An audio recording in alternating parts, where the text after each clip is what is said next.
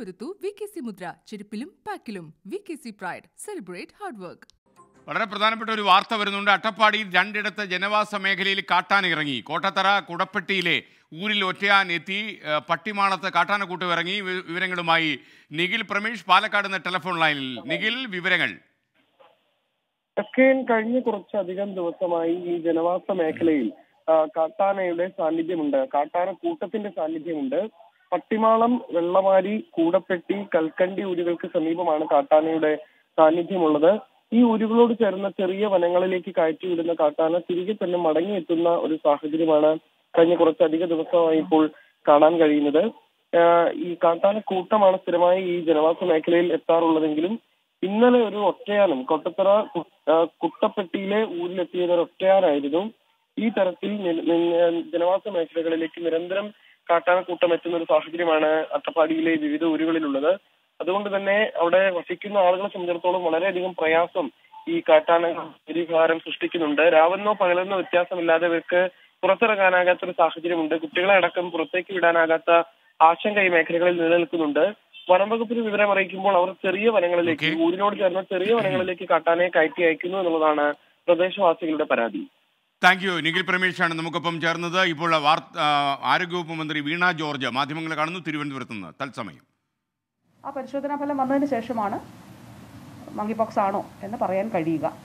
ഏതായാലും ഇത് സംബന്ധിച്ചിട്ടുള്ള എല്ലാ പ്രവർത്തനങ്ങളും ഇതുമായി ബന്ധപ്പെട്ടിട്ടുള്ളത് ആരോഗ്യവകുപ്പ് നടത്തിയിരുന്നു. അത് നേരത്തെ തന്നെ മങ്കി പോക്സ് ചില രാജ്യങ്ങളിൽ റിപ്പോർട്ട് ചെയ്ത സാഹചര്യത്തിൽ തന്നെ ഇതിന്റെ ഒരു അലേർട്ട് ഒരു ജാഗ്രതാ നിർദ്ദേശം നമ്മുടെ സംവിധാനത്തിൽ ആരോഗ്യ വകുപ്പിൽ നൽകിയിരുന്നു. ഇത് സംബന്ധിച്ചിട്ടുള്ള ഇപ്പോൾ ഈ ആളെ നിലവിൽ ഐസൊലേറ്റ് ചെയ്തിട്ടുണ്ട്. അപ്പോൾ പനിയുടെ ലക്ഷണങ്ങൾ അതുപോലെ മങ്കി പോക്സിന്റെ ലക്ഷണങ്ങളാണ് ഉള്ളത്. പക്ഷേ ഇത് സ്ഥിരീകരിച്ചതിന് ശേഷം മാത്രമേ പോസിറ്റീവ് ആണോ എന്നുള്ളത് അറിഞ്ഞതിന് ശേഷം മാത്രമാണ് മറ്റു കാര്യങ്ങൾ നമുക്ക് പറയാൻ കഴിയും. ഇപ്പോൾ ഏതായാലും സസ്പെക്റ്റ് ആണ്. ഇദ്ദേഹത്തിന് ക്ലോസ് കോണ്ടാക്ട് മങ്കി പോക്സ് ഉള്ള ഒരാളുമായിട്ട് ക്ലോസ് കോണ്ടാക്ട് ഉണ്ട്. അത് നമുക്ക് വൈകുന്നേരം റിസൾട്ട് വന്നതിന് ശേഷം പോസിറ്റീവ് ആയതിനു ശേഷം പറയാനാവും നല്ലത്.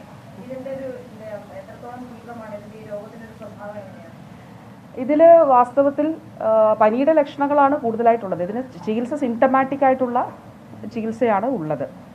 അപ്പോൾ ഇന്ത്യയിൽ നമ്മുടെ ഒരു ചികിത്സാ രീതി ഇതിന്റെ മക്കി പോക്സിന്റെ ശരിക്കും ഇത് കുരങ്ങ് പനി അല്ല അത് വാനര വസൂരി അല്ലെങ്കിൽ കുരങ്ങ് വസൂരി തന്നെയാണ്. അല്ലെങ്കിൽ മങ്കി പോക്സ് എന്ന് തന്നെ ആണ് അതിനെ പറയാൻ കഴിയുക.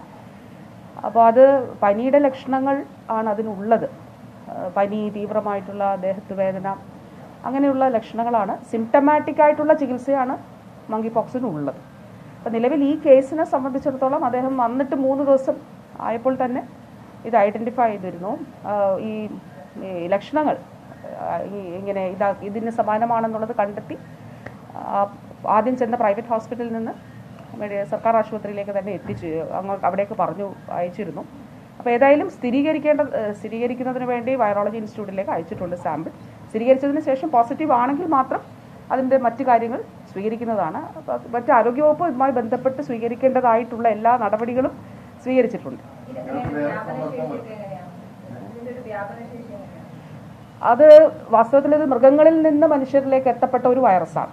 അപ്പോൾ മൃഗങ്ങളിൽ നിന്ന് മനുഷ്യരിലേക്കും മനുഷ്യരിൽ നിന്ന് മനുഷ്യരിലേക്കും. അപ്പോൾ മനുഷ്യരിൽ നിന്ന് മനുഷ്യരിലേക്കെന്ന് പറയുമ്പോൾ വളരെ അടുത്ത ബന്ധം ഉള്ള ശരീരസ്രവങ്ങളിൽ നിന്നാണ് മറ്റൊരാളിലേക്ക് ഇത് പകരുക. ശരീരസ്രവങ്ങളിലൂടെയാണ് ഈ വൈറസ് പകരുന്നത്. അപ്പോൾ സാധാരണ ഒരു രീതിയിൽ ഇപ്പോൾ ഇപ്പോൾ കോവിഡ് പോലെയോ അങ്ങനെ പകരുന്ന ഒരു ഇൻഫെക്ഷൻ അല്ല. പക്ഷെ വളരെ അടുത്ത ബന്ധമുള്ള ആളുകൾക്കാണ് സാധാരണ നിലയിൽ ഇത് പകരുക. ശരീരസ്രവങ്ങൾ മറ്റൊരാളുടെ ശരീരത്തിലേക്ക് എത്തപ്പെടുമ്പോൾ ആ അങ്ങനെയാണ് ആ വൈറസ് പകരുക. ഇത് സംബന്ധിച്ച് അതുകൊണ്ട് ആശയ്ക്കൊന്നും വേണ്ട. മരണനിരക്കൊക്കെ വളരെ കുറവാണ്. പക്ഷെ ഇത് ഇവിടെ ചോദിച്ച ചോദ്യം എങ്ങനെ? അത് അത് വീട്ടിലുള്ളവരുമായിട്ട് മാത്രമാണ് അടുത്ത സമ്പർക്കം ഉള്ളത്. ഇദ്ദേഹം പുറത്തുനിന്ന് വരുമ്പോൾ തന്നെ വളരെ കവേർഡായിട്ടും പ്രൊട്ടക്റ്റഡ് ആയിട്ടും ഒക്കെയാണ് വന്നിട്ടുള്ളത് എന്നാണ് മനസ്സിലാക്കുന്നത്. മാസ്ക് ധരിച്ചിരുന്നു. അതുപോലെ പൂർണമായിട്ടും ഏതാണ്ട് പ്രൊട്ടക്റ്റഡ് ആയിട്ട് തന്നെയാണ് വന്നിട്ടുള്ളത് എന്നാണ് മനസ്സിലാക്കുന്നത്. അപ്പോൾ ആ രീതിയിലുള്ള ഒരു അടുത്ത സമ്പർക്കം ഈ യാത്രക്കിടയിലൊന്നും ഉണ്ടായിട്ടില്ല. വീട്ടിലുള്ളവരുമായിട്ട് സമ്പർക്കം ഉണ്ടായിട്ടുണ്ട്. നിലവിൽ അവരെയും മാറ്റിയിട്ടുണ്ട്. പക്ഷേ ഇത് സസ്പെക്റ്റ് മാത്രമാണ് കാരണം ഇപ്പോഴത്തെ ഒരു സാഹചര്യത്തിൽ ഇങ്ങനൊരു ലക്ഷണങ്ങളോടുകൂടി ഒരാൾ വരികയും അദ്ദേഹത്തിന് മങ്കി പോക്സ് ഉള്ള ഒരാളുമായിട്ട് വളരെ അടുത്ത ബന്ധമുണ്ട്. അവിടെ സ്ഥിരീകരിക്കപ്പെട്ടതാണ്. ആ രാജ്യത്ത് ഇദ്ദേഹത്തിന് ക്ലോസ് കോൺടാക്ട് ഉള്ള ആൾക്ക് മങ്കി പോക്സ് ഉണ്ടെന്ന് സ്ഥിരീകരിക്കപ്പെട്ട ഒരു സാഹചര്യത്തിൽ ആണ് ഇത്രയും നടപടികൾ സ്വീകരിച്ചിട്ടുള്ളത്. ഏതായാലും വൈറോളജി ഇൻസ്റ്റിറ്റ്യൂട്ടിന്റെ ഫലം വന്നതിന് വരട്ടെ. പോസിറ്റീവ് ആണെങ്കിൽ മതി വിദേശത്തു നിന്ന് വന്ന. വിദേശത്ത് നിന്ന് വന്നിട്ട് മൂന്ന് ദിവസം ഇന്ന് നാലാമത്തെ ദിവസം. ആ പനി പിന്നെ ശരീരത്തിങ്ങനെ ഈ വസൂരിക്ക് സമാനമായിട്ടുള്ള ചില അദ്ദേഹം യു എയിൽ നിന്ന് വന്ന ഒരാളാണ്. പക്ഷെ അതിനിപ്പോ പ്രസക്തിയില്ല. അത് പോസിറ്റീവ് ആണെങ്കിൽ മാത്രമേ അതിൽ മറ്റ് നടപടികൾ സ്വീകരിക്കുകയുള്ളൂ. നമുക്ക് അല്ല അതൊരു ഒരുപാട് രാജ്യങ്ങളിൽ നിന്ന് അവിടെ വഴി ആളുകൾ വരുന്നുണ്ടല്ലോ. അപ്പോൾ അതിന് സാധ്യതയുള്ള ഒരു ഇല്ല ഫെറ്റാലിറ്റി വളരെ കുറവാണ് കുറവാണ്. മരണനിരക്ക് പൊതുവെ വളരെ വളരെ കുറവാണ്.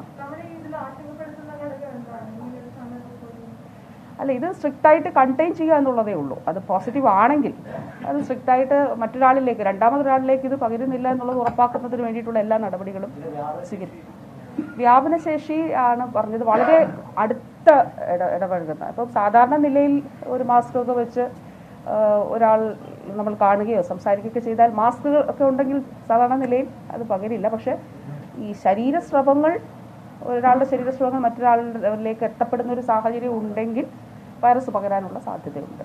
അപ്പം ഇന്ന് വൈകുന്നേരത്തിനൊക്കെ പറയുമെന്നാണ് പ്രതീക്ഷിക്കുന്നത്.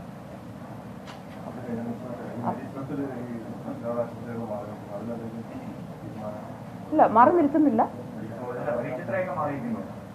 ആ Sreechitra R C C M C C. ഇപ്പം നമ്മുടെ സംസ്ഥാന ആരോഗ്യ വകുപ്പിന് കീഴിൽ വരുന്ന എല്ലാ ആശുപത്രികളുമായിട്ടും മെഡിസിപ്പുമായി ബന്ധപ്പെട്ട് ഇപ്പോൾ നിലവിൽ പ്രധാനപ്പെട്ട മെഡിക്കൽ കോളേജുകൾ അതുപോലെ തന്നെ ഡി എച്ച് എസിന് കീഴിലുള്ള പ്രധാനപ്പെട്ട എല്ലാ ആശുപത്രികളും ആയിട്ട് ബന്ധപ്പെട്ട് ഈ മെഡിസെപ്പിന്റെ സേവനങ്ങൾ അവിടെ ലഭ്യമായിരിക്കും. ഇതിനുവേണ്ടി നിലവിൽ നമ്മുടെ കാസ്പിന്റെ ഒരു കൗണ്ടറുണ്ട് ഇൻഷുറൻസിന്റെ പദ്ധതികളൊക്കെ നോക്കുന്ന അത് ആളുകൾക്ക് ലഭ്യമാക്കുന്ന ഒരു കൗണ്ടർ മെഡിക്കൽ കോളേജുകളിലൊക്കെ ഉണ്ട്. ഈ തുടക്കത്തിൽ ആ കൗണ്ടറിൽ നിന്ന് ഒരാൾ കൂടി ഈ മെഡിസെപ്പിന്റെ സേവനങ്ങൾ ആളുകളിലേക്ക് എത്തിക്കുന്നതിന് വേണ്ടിയിട്ട് ഉണ്ടാകും. പിന്നെ നിലവിൽ നമ്മുടെ സർക്കാർ ആശുപത്രികളുമായി ബന്ധപ്പെട്ടിട്ടുള്ള പാക്കേജുകൾ. അത് ഈ മെഡിസെപ്പിലൂടെ ലഭ്യമാകും. എല്ലാ സർക്കാർ ആശുപത്രികളിലും ഇത് ലഭ്യമാക്കുന്നതിന് വേണ്ടിയിട്ടുള്ള നടപടികൾ സ്വീകരിച്ചിട്ടുണ്ട്. ധനകാര്യ വകുപ്പ് മന്ത്രിയും ഞാനും ഇതിനെ സംബന്ധിച്ച മീറ്റിംഗ് എടുത്തിരുന്നു. ഡയറക്ടർ രണ്ട് ഡയറക്ടർമാരെയും അതുപോലെ additional chief secretary principal secretary എല്ലാവരും സമഗ്രമായി യോഗം വിളിച്ചു ചേർത്തിരുന്നു.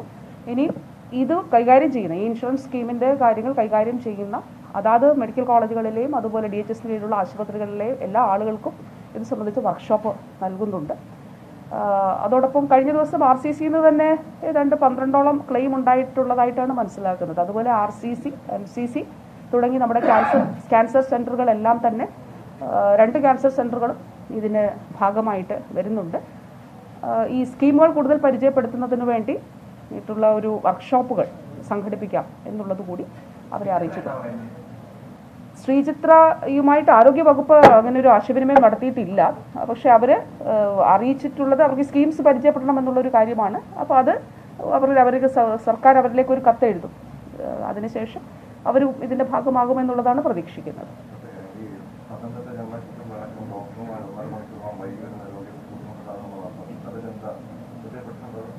അത് ഒരു എട്ട് മണിക്കാണ് ഒ പി ആരംഭിക്കേണ്ടത്. എട്ട് മണിക്ക് പകരം ഒൻപതരയ്ക്ക് ഒ പി ആരംഭിക്കാൻ പാടില്ല.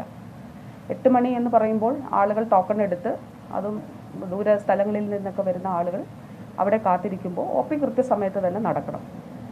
അത് കൃത്യമായിട്ടുള്ളൊരു കാര്യമാണ്. അതിൽ മാറ്റം ഉണ്ടാകാൻ പാടില്ല. അങ്ങനെ അല്ലാതെ ഉണ്ടെങ്കിൽ ഇപ്പോൾ തന്നെ ഈ പറഞ്ഞ സ്ഥലങ്ങളിൽ ഡി എംഒമാരോട് ഇക്കാര്യം എന്താണ് എന്നുള്ളത് ചോദിച്ചിട്ടുണ്ട്. അപ്പോൾ കൃത്യമായി ഓഫീസ് സമയത്ത് ഒ പിയിൽ ഇപ്പോൾ മാറ്റങ്ങൾ ഉണ്ടാകാം ഇപ്പോൾ അത്യാവശ്യം ഇൻപേഷ്യന്റ് ആയിട്ടുള്ള ഒരാൾക്ക് ഒരാളെ കാണണം. അല്ലെങ്കിൽ ഈ അങ്ങനെയുള്ള ഡ്യൂട്ടി സംബന്ധമായിട്ടുള്ള കാര്യങ്ങളിൽ ആശുപത്രിയിൽ തന്നെ മറ്റു സ്ഥലങ്ങളിൽ നിന്നുള്ളതിൽ അത് കുഴപ്പമില്ല. പക്ഷേ ഒ പി സമയം ആശുപത്രിയിൽ എത്തുന്നത് എട്ട് മണിക്ക് പകരം ഒൻപതരയ്ക്ക് അത് തുടങ്ങുന്ന ഒരു സാഹചര്യം ഉണ്ടാകാൻ പാടില്ല എന്നുള്ളത് തന്നെയാണ്. അതിൽ കർശനമായ നിലപാട് തന്നെയാണ് സർക്കാരിനുള്ളത്. അതിലൊരു മാറ്റവുമില്ല. പനിയും സമാനമായ ഓ. വന്നയാൾക്കും നേരിയതല്ലാത്ത കൃത്യമായ ലക്ഷണം ഉണ്ട് തന്നെയാണ് ഇപ്പോൾ വന്നയാൾക്ക് കൃത്യമായ ലക്ഷണങ്ങളുണ്ട്. കൃത്യമായ ലക്ഷണങ്ങളുണ്ട്. അപ്പോൾ അതുകൊണ്ട് തന്നെയാണ് അത് വൈറോളജി ഇൻസ്റ്റിറ്റ്യൂട്ടിലേക്ക് അതിന് സാമ്പിൾ അയച്ചിട്ടുള്ളത്. ആശങ്കപ്പെടേണ്ടതില്ല. ഏതായാലും ഈ ഫലം വരട്ടെ. ഫലം വന്നതിന് ശേഷം ബാക്കി നടപടികൾ. അത് സംബന്ധിച്ച് ഇനി പോസിറ്റീവ് ആണെങ്കിൽ അതുമായി ബന്ധപ്പെട്ട് സ്വീകരിക്കേണ്ട എല്ലാ നടപടികളും സ്വീകരിച്ചിട്ടുണ്ട്. അപ്പോൾ ഫലം വരട്ടെ. ശരി താങ്ക് വീണ ജോർജ് മാധ്യമപ്രവർത്തകരെ തിരുവനന്തപുരത്ത് കാണുകയായിരുന്നു. സംസ്ഥാനത്ത് മങ്കി പോക്സ് അഥവാ കുരങ്ങ് വസൂരി ഉണ്ടോ എന്ന് സംശയം. ഒരാൾക്ക് രോഗം രോഗം പിടിപെട്ടെന്ന് സംശയത്തിന് ടെസ്റ്റിന് പോയിരിക്കുന്നു. വിദേശത്ത് വന്ന ഒരാളിലാണ് യു എയിൽ നിന്ന് വന്ന ഒരാളിലാണ് ഇങ്ങനെ രോഗമുണ്ടോ എന്ന് സംശയിക്കുന്നത്. യഥാർത്ഥ ക്ലോസ് കോൺടാക്റ്റ് ഉള്ള ആളുകൾക്കാണ് ഈ രോഗം വരാൻ സാധ്യത. സംസ്ഥാന വൈറോളജി ഇൻസ്റ്റിറ്റ്യൂട്ടിലേക്ക് പരിശോധനയ്ക്ക് അദ്ദേഹത്തിന്റെ സ്രവം അയച്ചിട്ടുണ്ടെന്നാണ് മനസ്സിലാക്കുന്നത്. ഇക്കാര്യത്തിൽ ആശങ്ക വേണ്ടെന്ന് ആരോഗ്യവകുപ്പ് മന്ത്രി പറയുന്നു. കാര്യം മരണനിരക്ക് വളരെ കുറവാണ്. പരിശോധനാ ഫലം ഇന്ന് വൈകുന്നേരത്തോടെ ലഭിക്കും. അപ്പോൾ കുറച്ച് കൂടുതൽ കാര്യങ്ങൾ പറയാൻ കഴിയുമെന്നും പറഞ്ഞു. പനിയും വസൂരിക്ക് സമാനമായ കുരുക്കളുമാണ് ഈ കുരങ്ങ് വസൂരിയുടെ പ്രധാന ലക്ഷണമെന്നും ആരോഗ്യവകുപ്പ് മന്ത്രി പറയുന്നു. കൂടുതൽ ജാഗ്രത പാലിക്കേണ്ടതുണ്ട്. രാഷ്ട്രീയ പ്രതിസന്ധി തുടരുന്ന ശ്രീലങ്കയിൽ ആഭ്യന്തര കലാപം അതിരൂക്ഷമായിരിക്കുന്നുവെന്ന് ഞങ്ങളുടെ വാർത്താസംഘം കൊളംബോയിൽ നിന്ന് റിപ്പോർട്ട് ചെയ്യുന്നു. സമാധാനം പുനഃസ്ഥാപിക്കാൻ സൈന്യത്തോട് അഭ്യർത്ഥിച്ച് ആക്ടിംഗ് പ്രസിഡന്റ് റെനിൽ വിക്രംസിംഗെ. വീണ്ടും അടിയന്തരാവസ്ഥ പ്രഖ്യാപിച്ചതോടെ കൊളംബോയിൽ യുദ്ധസമാന സാഹചര്യമെന്നും നമ്മുടെ വാർത്താ സംഘം അറിയിക്കുന്നു. കൊളംബോയിൽ നിന്ന് ബൈജു കൊട്ടാരക്കര തത്സമയം ചേരുന്നു. ബൈജു നമ്മൾ സംസാരിച്ചതിന് ശേഷം എന്തൊക്കെയാണ് മാറ്റങ്ങൾ? ബൈജു കൊട്ടാരക്കര ഇപ്പോൾ എവിടെയാണ് നിൽക്കുന്നത്? എന്താണ് അവിടുത്തെ കാലാവസ്ഥ?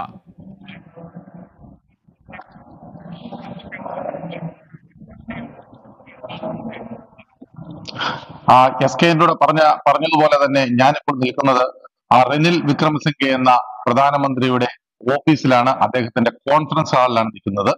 ഇവിടെ പട്ടാളം ചുറ്റും വളഞ്ഞിട്ടുണ്ട് എങ്കിൽ പോലും ജനങ്ങൾ മുഴുവൻ ഇത് കൈയടക്കിയിരിക്കുകയാണ്. അദ്ദേഹത്തിന്റെ ഓഫീസിലാണ് ഇപ്പോൾ നിൽക്കുന്നത്. ഈ നിൽക്കുന്നത് കാണാം. ഇവിടെ എല്ലാ മുറികളിലും ഇതിന്റെ വാതിലുകളിലും എല്ലാം പട്ടാളമുണ്ട്. പക്ഷേ പട്ടാളം ആരെയും തടയുന്നില്ല. ആ ജനങ്ങൾ ഇവിടെ ഗേറ്റ് മുതൽ മുകളിൽ വരെ എല്ലാ സ്ഥലങ്ങളിലും അവർ നിലയുറപ്പിച്ചിരിക്കുന്നു. പക്ഷേ സമാധാനപരമാണ്. ഇവിടുത്തെ സ്ഥിതി തികച്ചും സമാധാനപരമാണ്. ആ ഇവിടുത്തെ കരസേനയുടെ നേതാവ് അതായത് കരസേനയുടെ മേധാവി ശരത് ഫൊക്സേന. അദ്ദേഹം ഇന്ന് രാവിലെ സജിത് പ്രേമദാസയുമായി ചർച്ചകൾ നടത്തുന്നു എന്നൊരു വാർത്ത ഇവിടെ പ്രാദേശിക മാധ്യമങ്ങൾ റിപ്പോർട്ട് ചെയ്യുന്നു. അതോടൊപ്പം തന്നെ ഈ സജിത് പ്രേമദാസയെ പിന്തുണച്ചിരുന്ന ഒരു വലിയ വിഭാഗം ആളുകൾ ഇപ്പോൾ ഈ ശരത് ഫൊക്സേനയെ പിന്തുണയ്ക്കുന്നതായിട്ടാണ് പുറത്തു നിന്നും വാർത്തകൾ വരുന്നത്. അദ്ദേഹത്തിന്റെ ആ നിർദ്ദേശങ്ങൾ പാലിച്ചാണ് ഇപ്പോൾ പട്ടാളം പ്രവർത്തിക്കുന്നത്. ഒരു കാരണവശാലും ഈ ശ്രീലങ്കയിലുള്ള ജനങ്ങളുടെ മേലിൽ ഒരു തരി ഒരു തരി മണ്ണ് പോലും വാരിയിടരുത് എന്നുള്ള ശക്തമായ ഭാഷയിൽ അദ്ദേഹത്തിന്റെ ആ ആ ആജ്ഞ പട്ടാളം അനുസരിക്കുന്നു. പോലീസ് ആണെങ്കിൽ പരിപൂർണമായും ഇവിടുത്തെ ജനങ്ങളോട് കൂടിയാണ്. ഇവിടുത്തെ കർഫ്യൂ പിൻവലിച്ചു. രാവിലെ പിൻവലിച്ചു. വീണ്ടും കർഫ്യൂ അനൗൺസ് ചെയ്തെങ്കിലും അതും പിൻവലിച്ച പിൻവലിച്ചു എന്നാണ് ഇപ്പോ പ്രാദേശിക മാധ്യമങ്ങൾ ഒക്കെ റിപ്പോർട്ട് ചെയ്തത്. അതുകൊണ്ട് കർഫ്യൂ ഇപ്പോൾ നിലവിലില്ല. പക്ഷേ കർഫ്യൂ ഉള്ള സമയത്ത് ഇവിടെ അത്രയധികം തിരക്കുകളായിരുന്നു റോഡുകളിൽ. എല്ലാ റോഡുകളിലും ലക്ഷക്കണക്കിന് ആളുകൾ നടന്നു പോയിരുന്നു എങ്കിൽ ഇന്ന് റോഡുകളിൽ ആളുകളേ ഇല്ല. അതിന്റെ ഏറ്റവും വലിയ കാരണം പെട്രോളിന്റെയും ഡീസലിന്റെയും കുറവ് തന്നെയാണ്. ഒരു സ്ഥലത്തും പെട്രോളും ഡീസലും കാണാനില്ല. എന്തായാലും നമുക്ക് ട്വന്റി ഫോർ ചാനലിന് ഈ പറയുന്ന പിന്നെ റനിൽ വിക്രമസിംഗയുടെ ഓഫീസിന്റെ ദൃശ്യങ്ങളും ബാക്കിയുള്ള എല്ലാ കാര്യങ്ങളും പ്രേക്ഷകർക്കായിട്ടൊന്ന് കാണിച്ചു കൊടുക്കാം. ആ.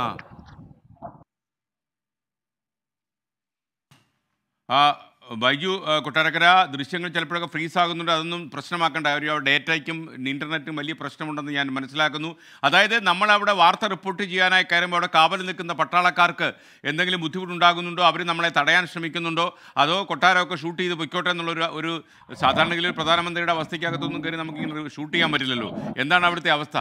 മാത്രമല്ല അവിടെ നിൽക്കുന്ന പട്ടാളക്കാർക്ക് എന്തായാലും മലയാളം മനസ്സിലാവത്തില്ല. അതുകൊണ്ട് ബൈജുവിന് ധൈര്യമായിട്ട് പറയാൻ തോന്നുന്നു. ഇല്ല അത് അത് തന്നെയാണ് പറയുന്നത്. അത് തന്നെയാണ് പറഞ്ഞത്. പട്ടാളക്കാർ മുഴുവൻ ഇവിടുത്തെ മിലിറ്ററി ഫോഴ്സ് മുഴുവൻ ജനങ്ങളോടൊപ്പമാണ്. അതോടൊപ്പം ഇവിടെ വരുന്ന വാർത്താ സംഘങ്ങളായാലും ഇവിടെ വരുന്ന പത്രക്കാരാണെങ്കിലും ആരാണെങ്കിലും അവരോടൊപ്പം ഇവിടുത്തെ ആളുകൾ അതായത് ഇവിടുത്തെ പട്ടാളക്കാരും പോലീസുകാരും എല്ലാം വളരെയധികം സഹകരണത്തിലാണ്.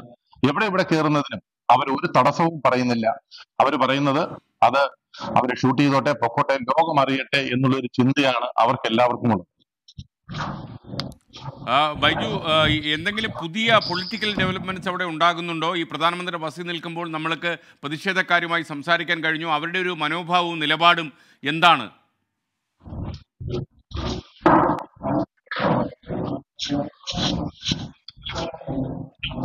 കഴിഞ്ഞിരുന്നു. പ്രതിഷേധക്കാരുമായി പല ആളുകളുമായി സംസാരിച്ചു. ആ സംസാരിച്ചതിൽ നിന്നുള്ള ആ വിവരങ്ങളാണ് ഞാൻ കുറച്ച് നേരത്തെ കൂടി പങ്കുവച്ചത്. അതായത് ഇവിടുത്തെ കരസേനയുടെ മേധാവി ശരത് ഫൊക്സേന അദ്ദേഹം ഇവിടുത്തെ പ്രതിപക്ഷ നേതാവായിരുന്ന സജിത് പ്രേമദാസയുമായി ചർച്ചകൾ നടത്തുന്നു.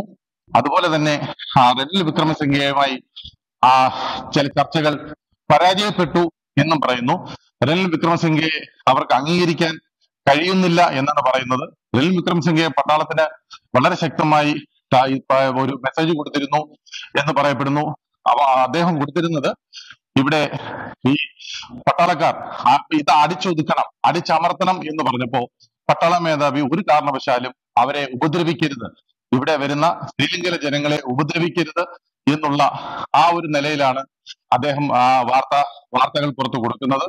അതുകൊണ്ട് തന്നെയാണ് ഈ റെനിൽ വിക്രമസിംഗയുടെ ഓഫീസിൽ കയറി വന്ന ആളുകളെ ഒരു കാരണവശാലും പുറത്തു വിടാതെ ഇവിടെ തന്നെ അവർ തുടരട്ടെ തുടരുന്നവർ തുടരട്ടെ കുഴപ്പമൊന്നുമില്ല. പക്ഷേ എന്നാലും അവർക്ക് കാവലായി പോലീസും പട്ടാളവും ജാഗരൂകരായി ഇവിടെ. ഓക്കെ താങ്ക് യു ബൈജു കൊട്ടാരക്കരയാണ് നമുക്കൊപ്പം ചേർന്നത്. ബൈജു കൊട്ടാരക്കര വീണ്ടും താങ്കൾ തുടരുക. കുറച്ച് കഴിയുമ്പോൾ നമ്മൾ വീണ്ടും കൊളംബോയിലേക്ക് വരാം.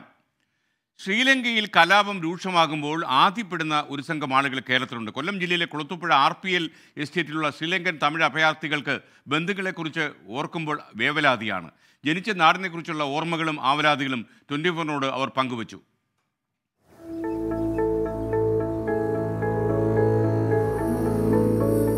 ആയിരത്തി തൊള്ളായിരത്തി എഴുപത്തിരണ്ടോടെയാണ് ശ്രീലങ്കയിൽ നിന്ന് അഭയാർത്ഥികൾ കേരളത്തിലെത്തിയത് ശ്രീലങ്കയിൽ ആഭ്യന്തര കലാപമുണ്ടായ കാലത്താണ് ഇന്ത്യൻ ഗവൺമെന്റിന്റെയും ശ്രീലങ്കൻ ഗവൺമെന്റിന്റെയും പരസ്പര ധാരണയുടെ അടിസ്ഥാനത്തിൽ ഇവർ ഇവിടേക്ക് എത്തിയത് ശ്രീലങ്കയുടെ ഇപ്പോഴുള്ള അവസ്ഥയിൽ ആശങ്ക പങ്കുവയ്ക്കുകയാണ് ഇവർ இப்போ அங்கே என்னன்னு கேட்டால் பதவிக்கு ஆசை ஒன்று பதவி ஆசை பிடிச்சி பிரதமராக நான் இருக்கா நீ இருக்கான்னு உங்கள் அங்கே அடிப்படை சண்டை அந்த அடிப்படை சண்டையில் வந்து நாட்டு நாட்டுக்கு நல்லது செய்ய முடியல அதுதான் காரணம் ആ നാടിനെ നശിപ്പിച്ചവർക്കെതിരായിട്ടുള്ള സമരമാണ് ഞങ്ങളുടെ കൂടെ ജനിച്ച ആൾക്കാരും എല്ലാവരും കൂടെ കിടന്ന് പാടുപെട്ട് ആഹാരമില്ലാതെ സങ്കടത്തിലായി ഇപ്പൊ അവിടുത്തെ ഈ പോരാട്ടങ്ങളൊക്കെ നടത്തുന്നത് അതിനോട് ഞങ്ങൾ എല്ലാവരും യോജിപ്പുണ്ട് நாங்கள் வந்து இப்போ நாற்பது வருஷம் ஆச்சு இப்போ என்னென்ன நடக்குதுன்னு தெரியாதுங்க போயிருந்தா இப்போவும் அப்படிதான் கஷ்டமாக இருக்குன்னு சொல்லலாம் போகிறதில்ல அங்கே போக நம்ம பைசா கிடையாது நம்ம வேலை இல்லாத ஆள் ஏதா கொண்டுக்கிட்டு அங்கே போகிறது பேசாமல் அங்கேயே இருக்க வேண்டியதான்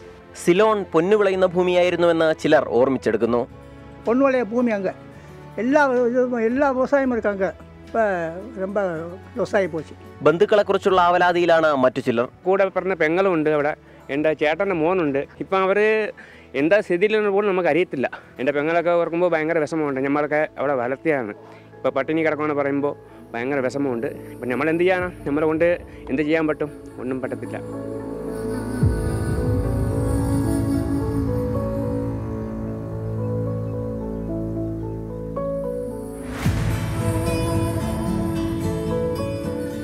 ശ്രീലങ്കയിൽ നിന്ന് ഇവിടേക്ക് എത്തിയിട്ട് നാളുകളേറെയായെങ്കിലും ജനിച്ച മണ്ണിനെയോർത്ത് ഇവർക്കിപ്പോഴും ആശങ്കയുണ്ട്. ജീവിക്കാൻ പടപൊരുതുന്ന ശ്രീലങ്കൻ ജനതയ്ക്കൊപ്പം ഇവർ മനസ്സുകൊണ്ട് കൂടെയുണ്ട്. കുളത്തൂപ്പുഴ ആർ പി എൽ എസ്റ്റേറ്റിൽ നിന്നും cameraman രാജ്കിരണിനൊപ്പം Salim Malik twenty four. Rehabilitation plantations limited Kulathupuzha അവർക്ക് എന്നും ഇങ്ങനെ ശ്രീലങ്കയിൽ എന്ത് പ്രശ്നം ഉണ്ടായാലും ഈ ജനക്കൂട്ടത്തെ അത് അത് സ്വാധീനിക്കുക തന്നെ ചെയ്യും. വേലിപ്പിള്ള പ്രഭാകരൻ ആയുധം കയ്യിലേന്തിയപ്പോഴും ഒരുപാട് പ്രശ്നങ്ങൾ അനുഭവിച്ചവരാണ് ഇവർ. ഇപ്പോൾ സമയം എട്ട് മണി കഴിഞ്ഞ് അൻപത് മിനിറ്റ്. എറണാകുളം ആലുവയിൽ ഗൂണ്ടാ വിളയാട്ടം. പുളിഞ്ചോടുള്ള ഹോട്ടൽ അക്രമികൾ ഹോട്ടൽ അക്രമികൾ അടിച്ച് തകർത്തു. മൊബൈൽ ചാർജ് ചെയ്യുന്നതുമായി ബന്ധപ്പെട്ട തർക്കമാണ് അക്രമത്തിൽ കലാശിച്ചത്. ഇന്നലെ രാത്രിയിലായിരുന്നു സംഭവം. ആക്രമണത്തിൽ പരിക്കേറ്റ ആലുവ സ്വദേശി ദിലീപിനെ ആശുപത്രിയിൽ പ്രവേശിപ്പിച്ചു. ആക്രമണത്തിന്റെ ദൃശ്യങ്ങൾ ട്വന്റി ലഭിച്ചു.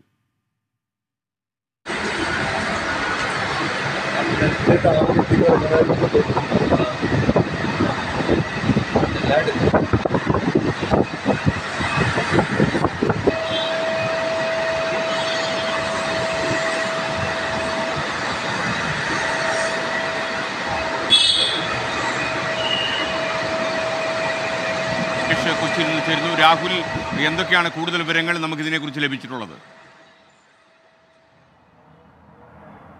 എസ് കെ ആലുവ പുളിഞ്ചോട് പ്രവർത്തിക്കുന്ന ടർക്കിഷ് മന്തി എന്ന ഹോട്ടലാണ് ഈ മൂന്ന് പേരടങ്ങുന്ന സംഘം അടിച്ചു തകർത്തത്. ഇന്നലെ രാത്രി ഒരു മണിയോടുകൂടിയാണ് മൂന്ന് പേരടങ്ങുന്ന സംഘം ഈ ഹോട്ടലിൽ ഭക്ഷണം കഴിക്കാനായി എത്തിയത്. ഇവർ കാറിൽ ഇരുന്നു കൊണ്ടായിരുന്നു ഭക്ഷണം ഓർഡർ ചെയ്തത്. എന്നാൽ ഈ ഹോട്ടൽ ജീവനക്കാർ പറഞ്ഞു കാറിലേക്ക് ഭക്ഷണം നൽകാൻ നൽകാൻ സാധിക്കില്ല എന്ന് പറഞ്ഞു. തുടർന്ന് ഇവർ ഹോട്ടലിനകത്തേക്ക് എത്തുകയായിരുന്നു. ശേഷം ഇവരുടെ കയ്യിൽ നിന്നും ഭക്ഷണം വാങ്ങി. എന്നാൽ ഹോട്ടൽ ജീവനക്കാർ പണം ചോദിച്ചപ്പോൾ പണം നൽകേണ്ട ആവശ്യമുണ്ടോ എന്ന് ഇവരോട് ചോദിച്ചു. തുടർന്ന് പണം നൽകുകയായിരുന്നു. ഇതിന് പിന്നാലെ ഒരു മൊബൈൽ ചാർജ് ചെയ്യണമെന്ന് ഈ മൂന്ന് പേരടങ്ങുന്ന സംഘം ഹോട്ടൽ ജീവനക്കാരോട് പറയുകയായിരുന്നു. എന്നാൽ ഈ മൊബൈൽ ചാർജ് ചെയ്ത ശേഷം ഈ ചാർജർ ഉൾപ്പെടെ തനിക്ക് വേണമെന്ന് പറഞ്ഞു. എന്നാൽ അത് നൽകാൻ കഴിയില്ല എന്ന് പറഞ്ഞു. ഇതാണ് അക്രമത്തിലേക്ക് നയിച്ചത് എന്നാണ് ഈ ഹോട്ടലിലെ ജീവനക്കാർ നമ്മളോട് പറഞ്ഞത്. അതിനെ തുടർന്ന് മൂന്ന് പേരടങ്ങുന്ന സംഘം ഇതിന്റെ ഈ ഹോട്ടലിന്റെ ഉള്ളിലുള്ള മുഴുവൻ സാധനങ്ങളും അടിച്ചു തകർക്കുകയായിരുന്നു. ഒപ്പം ഈ ഹോട്ടലിൽ ഉണ്ടായിരുന്ന ദിലീപ് എന്ന ചെറുപ്പക്കാരനെയും ഇവർ ആക്രമിച്ചു എന്നാണ് ഇവിടെയുള്ള ആളുകൾ പറയുന്നത് ഇതുമായി ബന്ധപ്പെട്ട കൂടുതൽ പ്രതികരണം നമുക്ക് തേടാം. ഈ ഹോട്ടൽ ജീവനക്കാരനും ഇവിടുത്തെ ആളുമായ ഒരാൾ നമ്മളോടൊപ്പം ചേരുന്നുണ്ട്. എന്താണ് ചേട്ടാ ഇന്നലെ രാത്രി സംഭവിച്ചത്? ഇന്നലെ രാത്രി അവർ ഇവിടെ വരികയും നമ്മളടുത്ത് പാഴ്സൽ ആവശ്യപ്പെടുകയായിരുന്നു. പാഴ്സൽ കാറിലിരുന്നാണ് ആവശ്യപ്പെട്ടത്. അപ്പോൾ അവർ ഇതിനു മുന്നേ ഒരു ഒരാഴ്ച മുമ്പ് നമ്മളടുത്ത് വന്നിട്ട് ഒരാഴ്ച മൂന്നാൽ ദിവസം മുമ്പാണ് അവർ വന്നിട്ട് ഇവിടെ വന്നൊരു പാഴ്സൽ ആവശ്യപ്പെടുകയുണ്ടായി. പാഴ്സൽ ആവശ്യപ്പെട്ട് നമ്മൾ കാറിൽ കൊണ്ടുപോയി കൊടുത്തപ്പോൾ അവർ ആ കാർ എടുത്ത് പോവുകയാണ് ചെയ്തത്. ഇന്നലെ വന്നിട്ട് വീണ്ടും അതേപോലെ തന്നെ ആവശ്യപ്പെട്ടപ്പോൾ ഞങ്ങൾ പാഴ്സൽ കാറിലേക്ക് കൊണ്ടുപോയി കൊടുത്തില്ല. വണ്ടിയിൽ ഹോട്ടലിൽ തന്നെ വെച്ചിട്ട് അവരിവിടെ വന്ന് പേയ്മെന്റ് ചെയ്തിട്ട് തരുള്ളൂ എന്ന് പറഞ്ഞായിരുന്നു. അപ്പോൾ അവർ പേയ്മെന്റ് ഞങ്ങൾ തരേണ്ട ആവശ്യമുണ്ടോ എന്നാണ് അവർ ചോദ്യം. അപ്പോൾ ഞങ്ങൾ ഒരു പേയ്മെന്റ് തരാതെ ഞങ്ങൾ ഫുഡ് തരില്ല എന്ന് പറയുന്നുണ്ട് അവരോട്. അപ്പോൾ അവർ ഗൂഗിൾ പേ ചെയ്യാം. അതുകൊണ്ട് കേബിൾ ഒന്ന് തരണമെന്ന് പറഞ്ഞ് നമ്മൾ ചാർജർ കേബിൾ കൊടുക്കുകയുണ്ടായി അത് കഴിഞ്ഞപ്പോൾ അവർക്ക് ചാർജർ കേബിൾ അവർക്ക് കൊണ്ടുപോകാൻ വേണം എന്നായി അപ്പോൾ അവർ അത് തരാൻ പറ്റില്ല എന്ന് അവരോട് പറഞ്ഞു. പിന്നെ അവർ അവരുടെ കൂടെ ഉണ്ടായിരുന്ന ആളാണ് നമുക്ക് ഗൂഗിൾ പേ ചെയ്തത് ഇന്നലെ ഇന്നലെ പൈസ തന്നിട്ടാണ് കൊണ്ടുപോയത്. അപ്പോൾ പോകാൻ നേരത്ത് ഞങ്ങൾ ശരിയാക്കി തരാം എന്നും പറഞ്ഞിട്ടാണ് ഇറങ്ങിപ്പോയത്. പക്ഷേ ഉടനെ തന്നെ നമ്മൾ ഇങ്ങനെ ആക്രമിക്കപ്പെടുമെന്നൊന്നും നമ്മൾ വിചാരിച്ചില്ല. അപ്പോൾ ഒരു പതിനഞ്ച് മിനിറ്റ് ഇരുപത് മിനിറ്റിന് ശേഷം അവർ വന്നിട്ട് മുഖമൂടിയൊക്കെ ധരിച്ചിട്ട് അവർ തന്നെ ആ ഡ്രസ്സൊക്കെ തന്നെ ആയതുകൊണ്ട് ഞങ്ങൾക്ക് ആളെ അപ്പോൾ തന്നെ ഞങ്ങളുടെ സ്റ്റാഫിനും എല്ലാവർക്കും ആളെ മനസ്സിലാവുകയുണ്ടായി. അപ്പോൾ അതിലൊരു സിയാദ് എന്ന് പറയുന്ന ഒരു ഗുണ്ടയാണ് ഉണ്ടെന്നാണ് എന്റെ പാർട്ട്ണർ ആക്ച്വലി പറഞ്ഞത്. ഞാൻ ഞാൻ നൈറ്റ് കഴിഞ്ഞിട്ട് ഞാൻ വീട്ടിലേക്ക് പോയിരിക്കുകയായിരുന്നു. ഞാൻ രാത്രി വിവരം പറഞ്ഞാണ് ഓടിയെത്തിയത്. അവിടെ വന്നപ്പോൾ ചോരയെ കുളിച്ച് നിൽക്കുന്ന കൂട്ടുകാരനാണ് കാണാൻ പറ്റിയത്. ആ ഒരു സിറ്റുവേഷനിൽ ഇവരിങ്ങനെ ചെയ്യുമെന്ന് പ്രതികരിക്കുന്നൊന്നും നമ്മൾക്ക് അറിയില്ലായിരുന്നു അപ്പോൾ അവർ മൂന്ന് പേരുണ്ടായിരുന്നു അവരോട്. ഇവിടെ ഭക്ഷണം കഴിച്ചിരുന്ന രണ്ട് പേരാണ് നമുക്ക് വീഡിയോ ഒരു വീഡിയോ ഫുട്ടേജ് തന്നത്. അവർ ആണ് ഇന്നലെ പോലീസ് വന്നപ്പോൾ അവരോട് സാക്ഷി പറയുകയും ചെയ്തിട്ടുണ്ട്.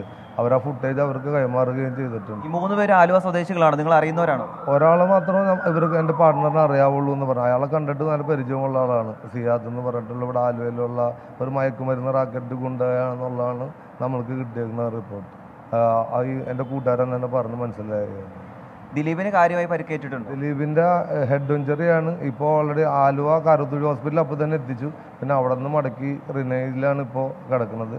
കൈ എല്ലാം ഒടിഞ്ഞിട്ട് ഇപ്പോൾ ഓപ്പറേഷൻ ചെയ്യണമെന്ന് പറഞ്ഞിട്ട് വെയിറ്റിങ്ങിലാണ് ഹോസ്പിറ്റലിൽ എസ് കെ ഗുരുതരമായി പരിക്കേറ്റ ദിലീപ് ഇപ്പോൾ ആശുപത്രി ചികിത്സയിലാണ്. ഈ ദൃശ്യങ്ങളിൽ കാണുന്ന പോലെ തന്നെ ദിലീപിന്റെ തല പൊട്ടി ചോര ഒഴിച്ച ചോരപ്പാടുകൾ ഇപ്പോഴും ഹോട്ടലിന്റെ ഉള്ളിൽ തന്നെയുണ്ട്. ഒപ്പം തന്നെ ആലുവ പോലീസ് ഇതുമായി ബന്ധപ്പെട്ട കേസെടുത്ത് അന്വേഷണം ആരംഭിച്ചിട്ടുണ്ട് എന്നാണ് വിവരങ്ങൾ ലഭിക്കുന്നത്. മൂന്ന് പേരടങ്ങുന്ന സംഘമാണ് ഈ ആക്രമണത്തിന് പിന്നിലെന്ന് ഈ ഹോട്ടൽ ജീവനക്കാരും നമ്മളോട് പറയുകയാണ് S K okay thank you നമുക്കിപ്പം ചേർന്നത് കൊച്ചിയിൽ നിന്ന് രാഹുൽ സുരേഷാണ് ആലുവയിലെ ഒരു ഹോട്ടൽ പുളിഞ്ചോടുള്ള ഒരു ഹോട്ടൽ അക്രമികൾ ഇന്നലെ അർദ്ധരാത്രി അടിച്ച് തകർത്തു എന്നാണ് രാഹുൽ റിപ്പോർട്ട് ചെയ്യുന്നത്. ഇനി നമുക്കൊരു ഇടവേളയിലേക്ക് പോകണം ഇടവേളയ്ക്ക് പോകുന്നതിന് വളരെ പ്രധാനപ്പെട്ട ഒരു അറിയിപ്പുണ്ട്. വയനാട് തവിഞ്ഞാൽ ഗ്രാമപഞ്ചായത്ത് പരിധിയിലെ പ്രൊഫഷണൽ കോളേജ് ഒഴികെയുള്ള മുഴുവൻ വിദ്യാഭ്യാസ സ്ഥാപനങ്ങൾക്കും ഇന്ന് ജില്ലാ കളക്ടർ അവധി പ്രഖ്യാപിച്ചിട്ടുണ്ട്. കനത്ത മഴ തുടരുന്ന പശ്ചാത്തലത്തിലാണ് തീരുമാനം. ജില്ലയിൽ ദുരിതാശ്വാസ ക്യാമ്പുകളായി പ്രവർത്തിക്കുന്ന സ്കൂളുകൾക്കും അവധി കൊടുത്തിട്ടുണ്ട്. എല്ലാ പ്രേക്ഷകർക്കും വീണ്ടും സ്വാഗതം. ഒരു യൂട്യൂബ് സന്ദേശം തങ്കച്ചന്റെതായി വന്നിരിക്കുന്നു. കൊച്ചി ധനുഷ്കോടി ദേശീയപാതയിൽ നേരിയമംഗലം മുതൽ വാളറ വരെയുള്ള ഭാഗങ്ങളിൽ റോഡിലേക്ക് ഇരുവശത്തു നിന്നും ഈറ്റയും കാടും ചാഞ്ഞു നിൽക്കുന്നതിനാൽ വാഹനങ്ങൾ പോകാൻ പറ്റാത്ത അവസ്ഥയുണ്ട്. അപകടങ്ങൾ ഉണ്ടാകാൻ സാധ്യതയുണ്ട് എന്ന് അദ്ദേഹം യൂട്യൂബിലൂടെ അറിയിക്കുന്നു. ബന്ധപ്പെട്ടവർ ശ്രദ്ധിക്കുമെന്ന് ഞാൻ വിശ്വസിക്കുന്നു. ഇപ്പോൾ സമയം ഒൻപത് മണി കഴിഞ്ഞ് പതിനൊന്ന് മിനിറ്റ്. നടിയെ ആക്രമിച്ച കേസിൽ മുൻ ഡി ജി പി ആർ ശ്രീലേഖയുടെ ദിലീപ് അനുകൂല പരാമർശത്തിൽ നാളെ എറണാകുളത്ത് പ്രതിഷേധ മാർച്ച് നടത്തുമെന്ന് ഞങ്ങൾ അതിജീവിതയ്ക്കൊപ്പം കൂട്ടായ്മ. ശ്രീലേഖയ്ക്കെതിരെ പോലീസ് കേസെടുക്കാത്തതിൽ ഒത്തുകളി ഉണ്ടെന്ന് ആരോപിച്ചാണ് ഇവരുടെ കൂട്ടായ്മ നാളെ വരുന്നത്. Professor Kusumam Joseph twenty four ഇക്കാര്യം പറഞ്ഞു കേസെടുത്തില്ലെങ്കിൽ കോടതിയെ സമീപിക്കാനാണ് ഇവരുടെ നീക്കം. വിവാദ പരാമർശം നടത്തിയ ശ്രീലേഖയുടെ പെൻഷൻ റദ്ദാക്കാൻ സർക്കാർ തയ്യാറാകണമെന്നും പ്രൊഫസർ കുസുമം ജോസഫ് ആവശ്യപ്പെടുന്നു. നടിയെ ആക്രമിച്ച കേസിലെ പ്രതി പൾസർ സുനി നിരവധി നടിമാരെ ലൈംഗികമായി ആക്രമിച്ച ദൃശ്യം പകർത്തി ഭീഷണിപ്പെടുത്തിയ കാര്യം തനിക്ക് അറിയാമായിരുന്നുവെന്ന ശ്രീലേഖയുടെ വെളിപ്പെടുത്തലിലാണ് തൃശൂർ റൂറൽ പോലീസ് മേധാവിക്ക് പരാതി നൽകിയത്.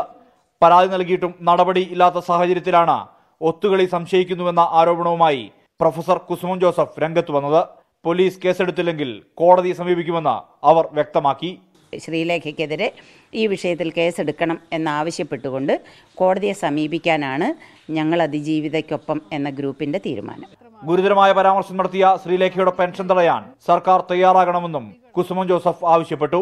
യൂട്യൂബ് ചാനലിന്റെ പ്രവർത്തനം തടയണം. ശ്രീലേഖയുടെ വെളിപ്പെടുത്തലിന് പിന്നിൽ ദിലീപിനെ രക്ഷിക്കാനുള്ള ഗൂഢാലോചന സംശയിക്കുന്നുവെന്നും അവർ ആരോപിച്ചു. ഈ എട്ടാം പ്രതി എന്ന് പറയുന്ന ആൾ വലിയ സ്വാധീനവും സമ്പത്തും ഇത്തരം തന്ത്രങ്ങളൊക്കെ അറിയാവുന്ന ആളുമാണ്. അപ്പോൾ അദ്ദേഹത്തിന്റെ ഇടപെടലുണ്ടോ? എന്തായാലും കേസെടുക്കാത്തതിൽ ഞങ്ങൾക്കുള്ള ആശങ്ക വളരെയധികമാണ്. ശ്രീലേഖയ്ക്കെതിരെ നടപടി ആവശ്യപ്പെട്ട് ഞങ്ങൾ അതിജീവിതയ്ക്കൊപ്പം എന്ന കൂട്ടായ്മ നാളെ എറണാകുളത്ത് പ്രതിഷേധ സംഗമം സംഘടിപ്പിക്കുന്നുണ്ട്. ശ്രീലേഖയുടെ വീട്ടുപടിക്കലിലേക്കും സമരം വ്യാപിപ്പിക്കാനാണ് കൂട്ടായ്മയുടെ നീക്കം. അതേസമയം വെളിപ്പെടുത്തലിൽ കേസെടുക്കുന്ന കാര്യത്തിൽ പോലീസ് നിയമോപദേശം തേടിയിരിക്കുകയാണ്. Surjith Ayyappath twenty four Thrissur.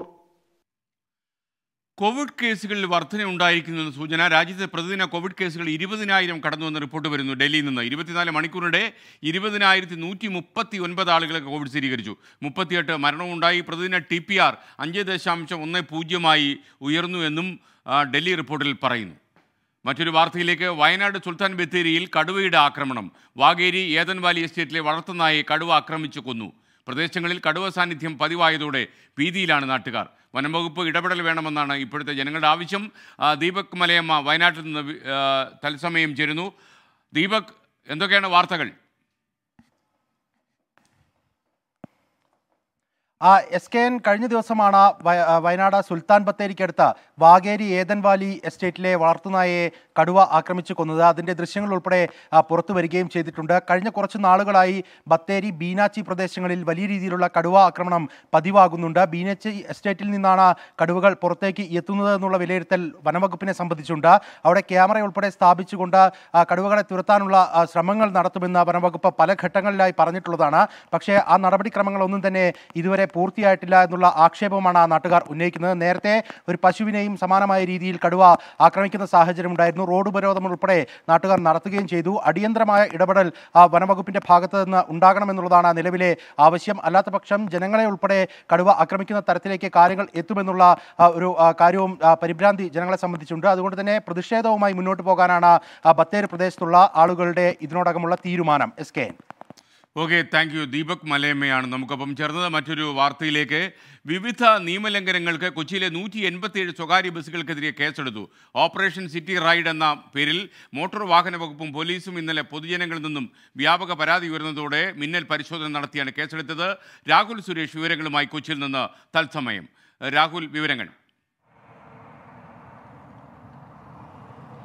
S K N കൊച്ചിയിലെ സ്വകാര്യ ബസ്സുകൾക്കെതിരെ വ്യാപക പരാതി ഉയർന്ന സാഹചര്യത്തിലായിരുന്നു ഇന്നലെ ഒരു മിന്നൽ പരിശോധന നടത്തിയത്. ഇന്നലെ രാവിലെ പതിനൊന്നര മുതൽ ഉച്ചയ്ക്ക് പന്ത്രണ്ടര വരെ നീണ്ടു നിൽക്കുന്ന ഒരു മണിക്കൂർ നീണ്ട മിന്നൽ പരിശോധനയായിരുന്നു പോലീസും മോട്ടോർ വാഹന വകുപ്പും നടത്തിയത്. ഓപ്പറേഷൻ സിറ്റി റൈഡ് എന്ന പേരിലായിരുന്നു ഈ പരിശോധന നടത്തിയത്. ഇതിലാണ് നൂറ്റി എൺപത്തിയേഴ് സ്വകാര്യ ബസ്സുകൾക്കെതിരെ നിയമലംഘനങ്ങൾ കണ്ടെത്തിയിട്ടുള്ളത്. ഇതിന്റെ അടിസ്ഥാനത്തിൽ നൂറ്റി എൺപത്തിയേഴ് സ്വകാര്യ ബസ്സുകൾക്കെതിരെ കേസെടുത്തിട്ടുണ്ട്.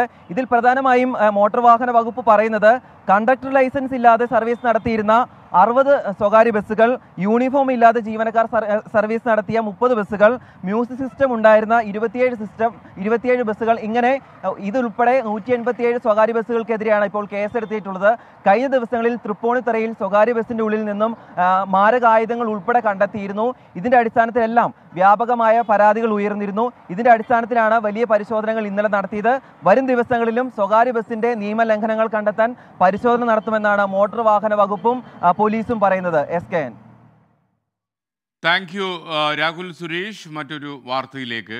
കോട്ടയം ഐമനം ഗ്രാമപഞ്ചായത്തിൽ കെട്ടിട നമ്പറിന്റെ പേരിൽ വൻ തട്ടിപ്പ് നടത്തിയ സംഭവത്തിൽ എൻഫോഴ്സ്മെന്റ് ഡയറക്ടറേറ്റ് അന്വേഷണം ഊർജിതമാക്കി.